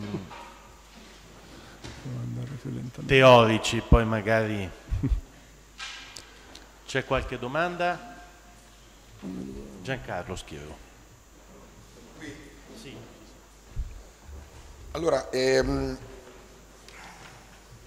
non mi perdo in complimenti inutili e eh, volevo sottolineare, mi sembra che questa tua relazione Andrea abbia due fuochi di interesse, uno contatto logico che tu hai illustrato, ma mi permetto di eh, sottolinearne un altro, uno eh, teorico sulla struttura della grammatica, perché quando noi eh, eh, usiamo i casi di contatto per illustrare il funzionamento della grammatica e l'esempio più luminoso è stato proprio il libro di, eh, Weinreich, di Uriel Weinreich che tu citi, cioè di applicazione dello strutturalismo allo studio del contatto, e questi problemi vengono in genere illustrati nella forma di induzione di elementi, tant'è vero che tutto il capitolo sulla interferenza fonologica è, è impostato da Weinrich sul problema se esista o no l'induzione di fonema da una lingua all'altra. Tu invece ci mostri un altro problema che in realtà Weinreich, Weinreich stesso adombra nel capitolo di morfologia proprio, no? Eh, e nella correzione successiva che lui fece al capitolo di, di fonologia. Cioè, primo, che il contatto fonologico può comportare il contatto di processi e non di elementi. No? Cioè c'è una visione dinamica di questo contatto, cioè abbiamo il, il passaggio di regole intere da una lingua all'altra. Secondo che in questo caso i mattoncini fondamentali non sono i, i fonemi, cioè le, le, le unità, cioè non c'è un'idea, non c'è un, un passaggio di elementi sostanziali da una lingua all'altra, ma sono i tratti, cioè la, come dire, il lessico su cui ho, è, è sbagliata questa, cioè gli elementi fondamentali che entrano nella descrizione delle regole non sono i fonemi ma le proprietà fondamentali, tu l'hai sottolineato alla fine, cioè i tratti fonologici. E, ehm, e questa cosa è, è, importante per la nostra concezione anche della grammatica, cioè i casi di contatto ci dicono qualcosa di come funziona la grammatica in questo caso. Ehm, oh, l'altro elemento, più, più, se vuoi micro, sull'armonia, è che un'idea che era stata eh, adombrata da Martin Maiden circa l'armonia dei dialetti italiani, cioè che in realtà le armonie, pur operando in modo uguale, possono essere molteplici e i dialetti italiani mostrano che magari la stessa, armonia, la stessa regola di armonia che opera con le stesse regole può, operare, può scomporre la parola in domini diversi e in alcuni dialetti la vediamo operare in un modo, in, su un dominio e in altri dialetti su un altro dominio, tu qui effettivamente lo vedi in un modo molto evidente su questi casi in cui l'armonia del turco che ci appare come mono eh, funzionante sulla parola fonologica del turco in realtà viene scomposta in armonie, in molteplici regole di armonia all'interno dei dialetti armeni. Scusate la prolissità. Rispondo subito. Ecco, sono, ecco, vedo che abbiamo una forte convergenza anche su questi aspetti. Io credo, come ho cercato di mostrare con dati empirici e mi sono limitato all'armeno, ma i dati sulla Romani sono altrettanto abbondanti, anche quelli sullo Yiddish sono un po' all'inizio, però vengono fuori piano piano. Allora, una, mi sembra che negli studi del contatto si sia... Ehm, insistito molto ad esempio sull'induzione di fonemi. Ok, questo funziona assolutamente, non, non, non, è in dubbio e lo stesso Weinreich ne parla già in maniera assolutamente chiara. Quindi induzione di unità, induzione perché veicolate da qualcosa di più grosso, ad esempio un lessema che poi va a fare coppie minime e si eh, fonologizza ecco, qualcosa di nuovo. Allora, invece sulla importazione di processi da una lingua diciamo coterritoriale, cioè importazioni di regole fonologiche, non è che ci sia molto, direi che non c'è quasi nulla. Mentre sono studiatissimi, ad esempio nelle lingue degli apprendenti, il trasferimento dalla propria lingua nativa al codice che si sta apprendendo delle regole fonologiche, che è una cosa molto evidente, insomma, il contrario, cioè io trasferisco sulla mia lingua nativa qualcosa di un'altra lingua che so comunque, in qualche modo so, questo, questa direzionalità è del tutto trascurata. Eh, se si guardano certe voci, le ho citate qua in fondo, um, le voci delle, di, um, della, che la Thomason scrive in Rule Borrowing, uh, in cui forse ecco, si intravede bene il problema in maniera assolutamente corretta, secondo me, ecco, in queste anche voci di grandi enciclopedie alla fine si riesce a citare un caso solo da una lingua merindiana, che è sicuro, eh? cioè va benissimo, per me è uguale che sia da un dialetto della Romania o da una lingua merindiana, cambia nulla, però è veramente povera l'esemplificazione. Oltretutto, l'unico altro esempio che si fa è un esempio, diciamo, di prospettiva induzionista e cioè quello della ricollocazione dell'accento dell'inglese dopo l'ingresso massiccio di prestiti francesi, dopo il 1066 e così via. Ecco. Eh, in quel caso si parla di una regola che sarebbe stata estratta nuova dall'ingresso di molti prestiti. Bene, questo caso in realtà è rarissimo. È rarissimo quando noi abbiamo un passaggio di regole da una lingua a un'altra in una comunità bilingue, quando la lingua del codice maggioritario va a posizionarsi anche su quella del codice minoritario eh, nei bilingui, vediamo che in molti casi non può essere estratta dai prestiti. Non può. Faccio, se ho tempo ne faccio vedere un caso sull'endout perché lo vediamo eh, concretamente. Allora, se voi prendete l'endout a pagina, no, non so che punto, al punto, scusate, al punto 8, c'è un elenco di regole fonologiche abruzzesi importate dalla Romani. Vi pregherei di guardare eh, le ultime due, vanno bene tutte in realtà, ma guardiamo le ultime due. Partiamo dalla 7.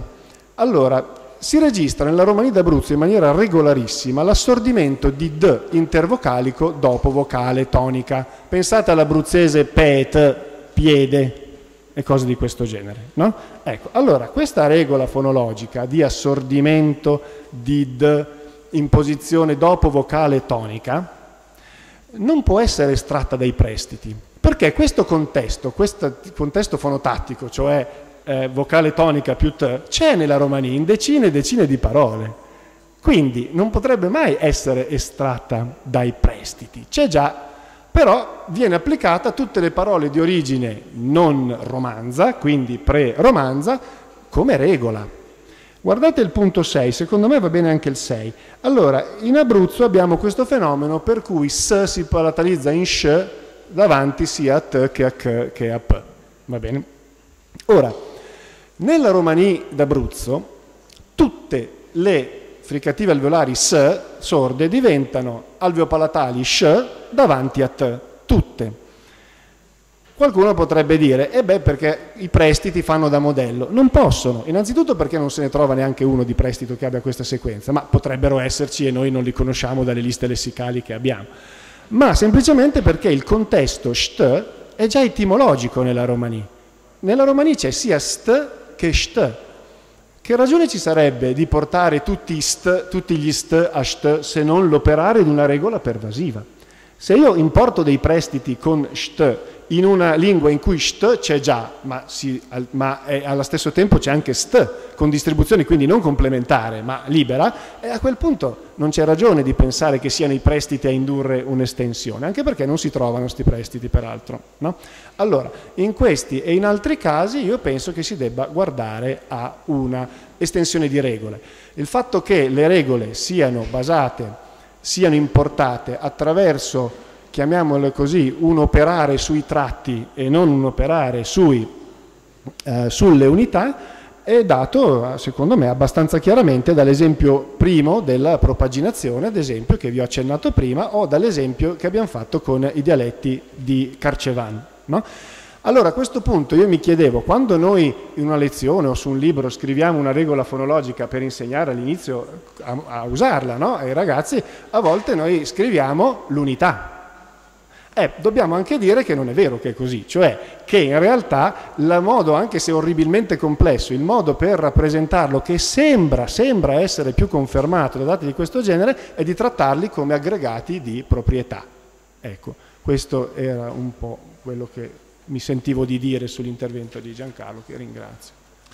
Allora ci sono sei minuti per due domande. Elisabetta Raganin, eh, mi scuso ma non conosco il nome. Di, di Domenico. Elisa Di Domenico, perfetto.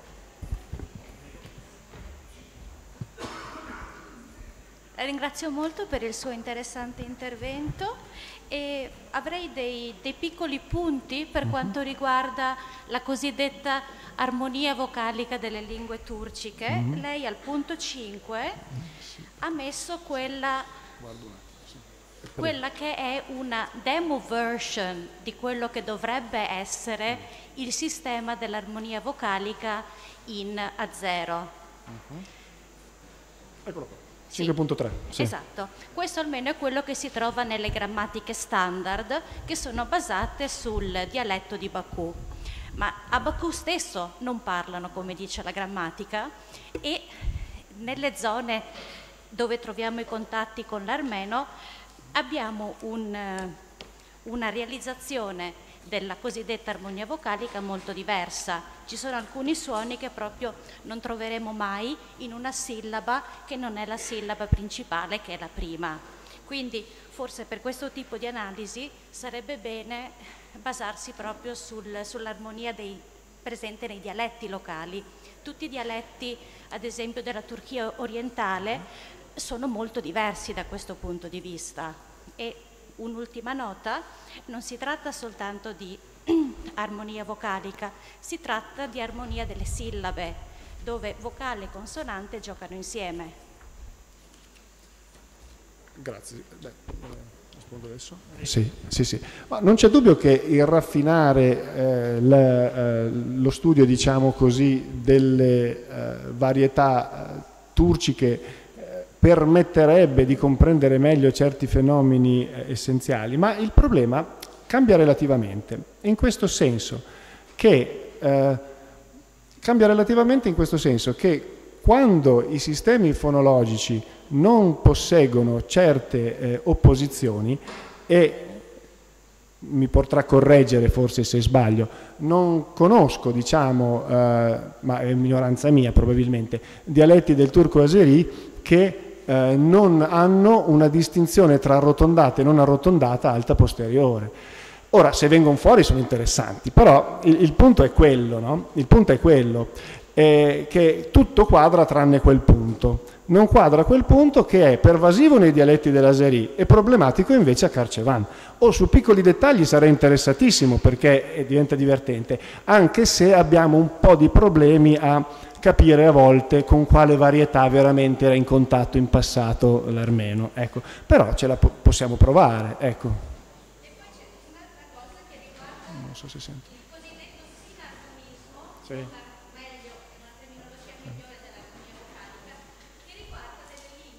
Mm-hmm. Forse sono più importanti per l'armeno riguardo rispetto alle varietà selgiuchidi, eccetera, che sono arrivate dopo. Perché? Ci sono alcuni di questi che cercano di dimostrare, nonostante il materiale sia molto poco, che la lingua oratu... Varteano. Mm. sì, capisco, capisco. Mm. Capisco. Allora, sì.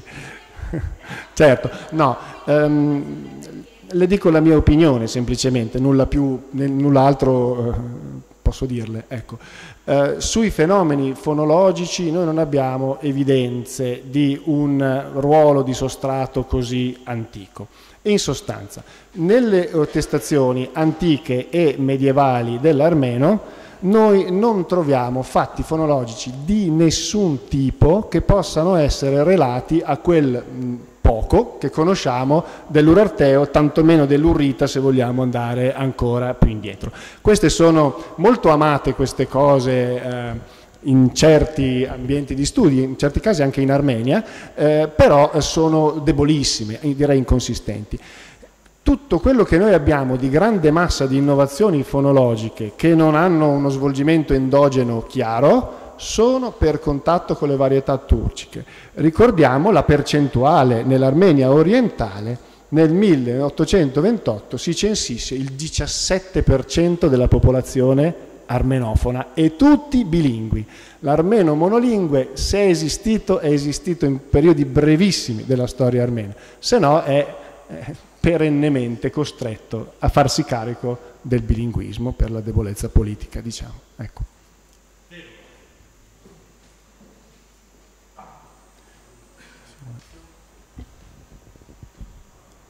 Solo un brevissimo commento sulla parte finale della relazione dove in maniera a mio avviso molto interessante lei mette in evidenza un fenomeno nel bilinguismo che è quello della divergenza, della diversificazione invece che eh, dell'uniformizzazione dei sistemi eh, mm. linguistici, che è un fenomeno che abbiamo osservato anche in ambiti molto diversi, per esempio nella eh, percentuale di soggetti nulli utilizzati in eh, soggetti bilingui rispetto a, certo. ai controlli certo. monolingue. Certo. Uh, sì, grazie. Segnalo al proposito che anche un fenomeno studiato fino a un certo punto ma interessante come l'italianizzazione dei dialetti mostra fenomeni di trasferimento di regole eh, che sono anche, adesso parliamo di regole sintattiche, adesso, non, ma anche fonologiche eventualmente, ma mostra trasferimenti di regole eh, sintattiche in una maniera, come dire, degna di essere approfondita. Certo, nei casi dell'italianizzazione dei dialetti il discorso è completamente diverso perché il, il, il, livello coinvolto se il livello coinvolto è, eh, diciamo così, è diverso, è la sintassi, ovviamente gli strumenti di analisi sono diversi e allo stesso tempo però bisogna ricordare che lì il lessico è fortemente simile. Quindi il mio discorso funziona se teniamo insieme fonologia e lessico. Questi sembrano tenersi tra di loro. Più distante è il lessico, meno mi preoccupo di tenere distinte le fonologie. Più simili sono eh, le, eh, diciamo così, eh, più diverse sono, se il lessico è uguale, le fonologie le tengo accuratamente distinte, almeno nei processi sintagmatici che danno luogo a quelle realizzazioni allofoniche che diventano il sale, il marker della distinzione tra varietà lessicalmente affini. Ecco. Su altri livelli sarebbe interessantissimo approfondire, penso che si possa fare. Ecco. Allora, eh, grazie ancora. Posso terminare? Allora, eh, il mio compito di umile moderatore finisce qui, chiamo l'organizzatrice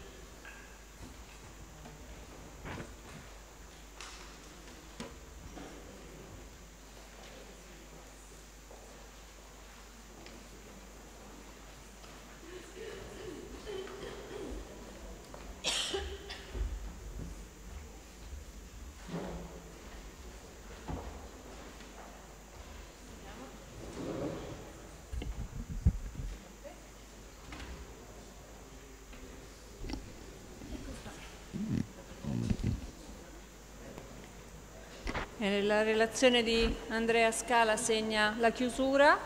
Se volete venire tutte e due mi fate piacere. Sì. segna la chiusura di questo nostro convegno. Eh, sembrava che eh, si trattasse di un convegno tormentato circa un mese fa e invece non lo è stato.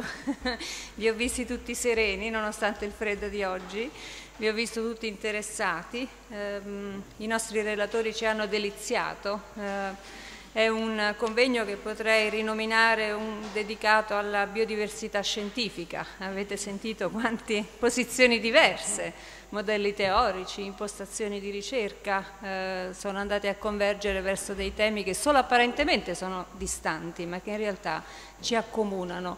Ehm, quindi io sono particolarmente felice anche della reazione che vi è stata a relazioni un po' azzardate, eh, diciamo così, che potevano sembrare fuori contesto, ma che invece non lo sono state per nulla, e gli ampli dibattiti che sono seguiti alle nostre relazioni hanno dimostrato l'interesse da parte di tutti noi.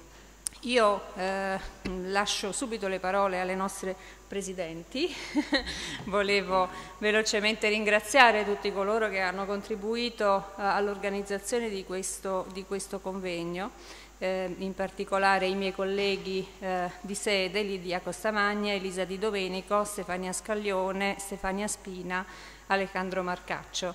Eh, ho sentito parole di apprezzamento sia sulla qualità della cena sociale, la scelta dei vini, eh, la bellezza grafica delle cartelline e dei quaderni che avete, allora questi particolari di gusto si devono ad Alejandro Marcaccio, quindi eh, un applauso speciale a lui.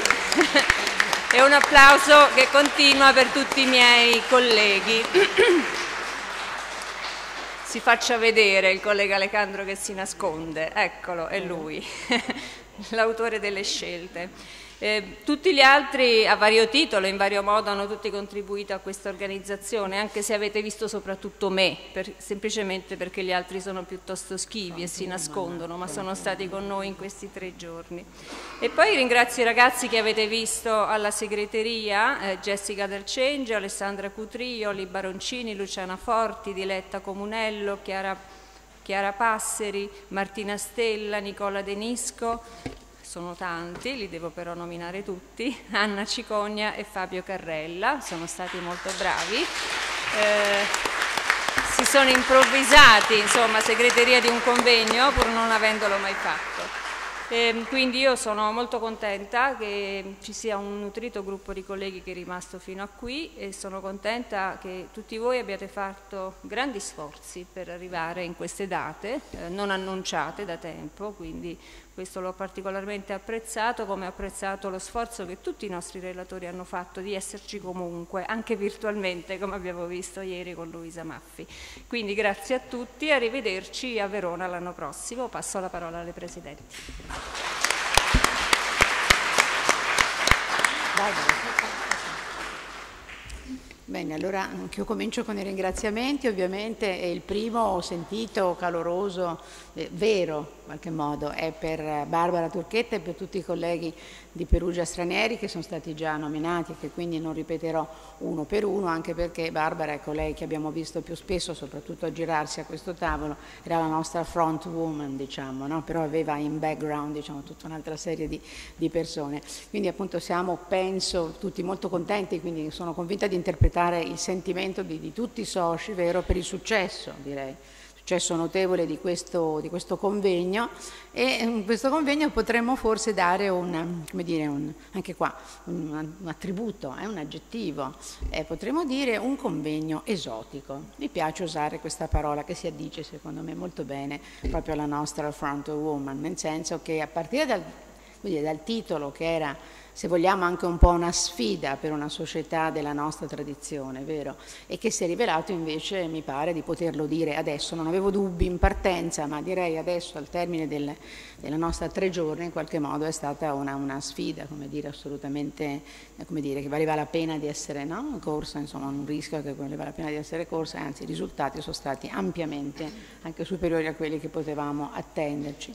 Nel senso che le varie voci che abbiamo ascoltato da diversi punti di vista, con quadri teorici molto difformi e anche con finalità, direi, di ricerca difformi, hanno potuto comunque dialogare in maniera proficua e, cosa più importante, hanno potuto offrire a tutti noi che ascoltavamo, vero, degli stimoli di riflessione, degli stimoli e dei suggerimenti, hanno offerto suggerimenti per ricerche ulteriori, che è poi, a mio avviso, lo scopo ultimo di ogni convegno scientifico che, come dire, eh, così, vogliamo mm, eh, vedere, a cui vogliamo partecipare. E il secondo ringraziamento, anche in questo caso implicito in ciò che ho detto, ma ovviamente doveroso, va a tutti i relatori che appunto hanno partecipato a questo convegno della Società Italiana di Glottologia.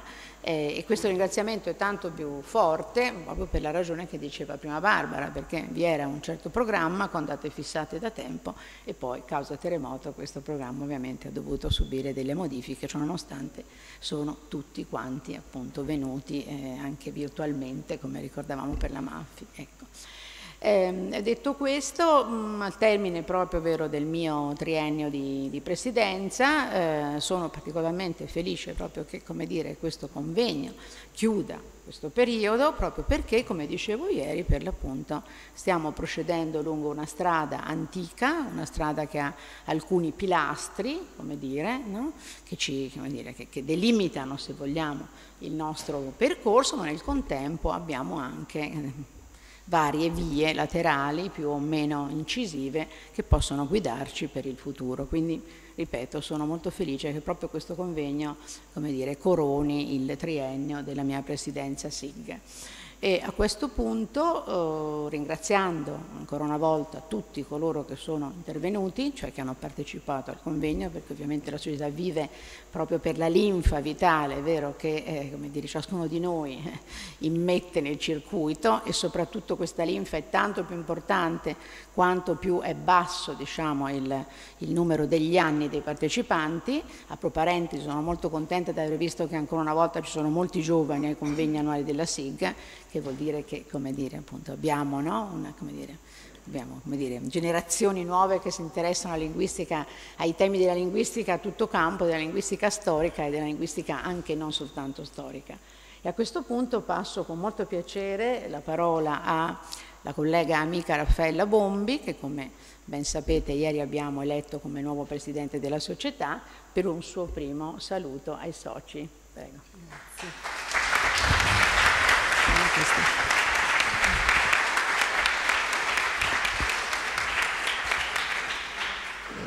Io per prima cosa vorrei ringraziare tutta la Società Italiana di Glottologia eh, sono davvero molto felice e onorata per questa nomina a Presidente della nostra, della nostra società, quindi grazie di cuore a tutti.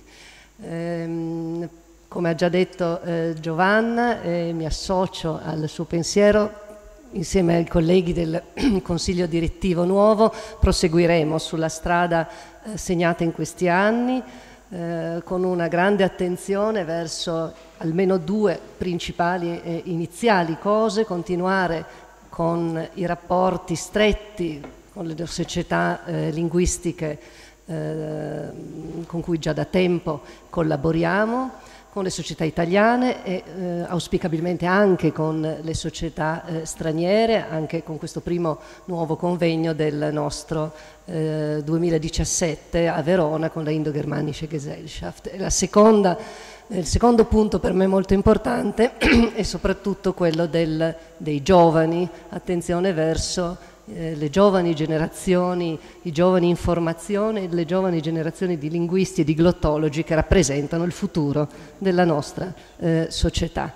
Eh, io ringrazio anche Barbara Turchetta e tutto il suo staff per, eh, per questo bellissimo convegno e eh, quindi grazie di cuore Barbara, grazie a tutti e buon lavoro a noi e anche a voi. Grazie soprattutto a Allora, arrivederci a Verona eh? e buon viaggio. Grazie. Figurati.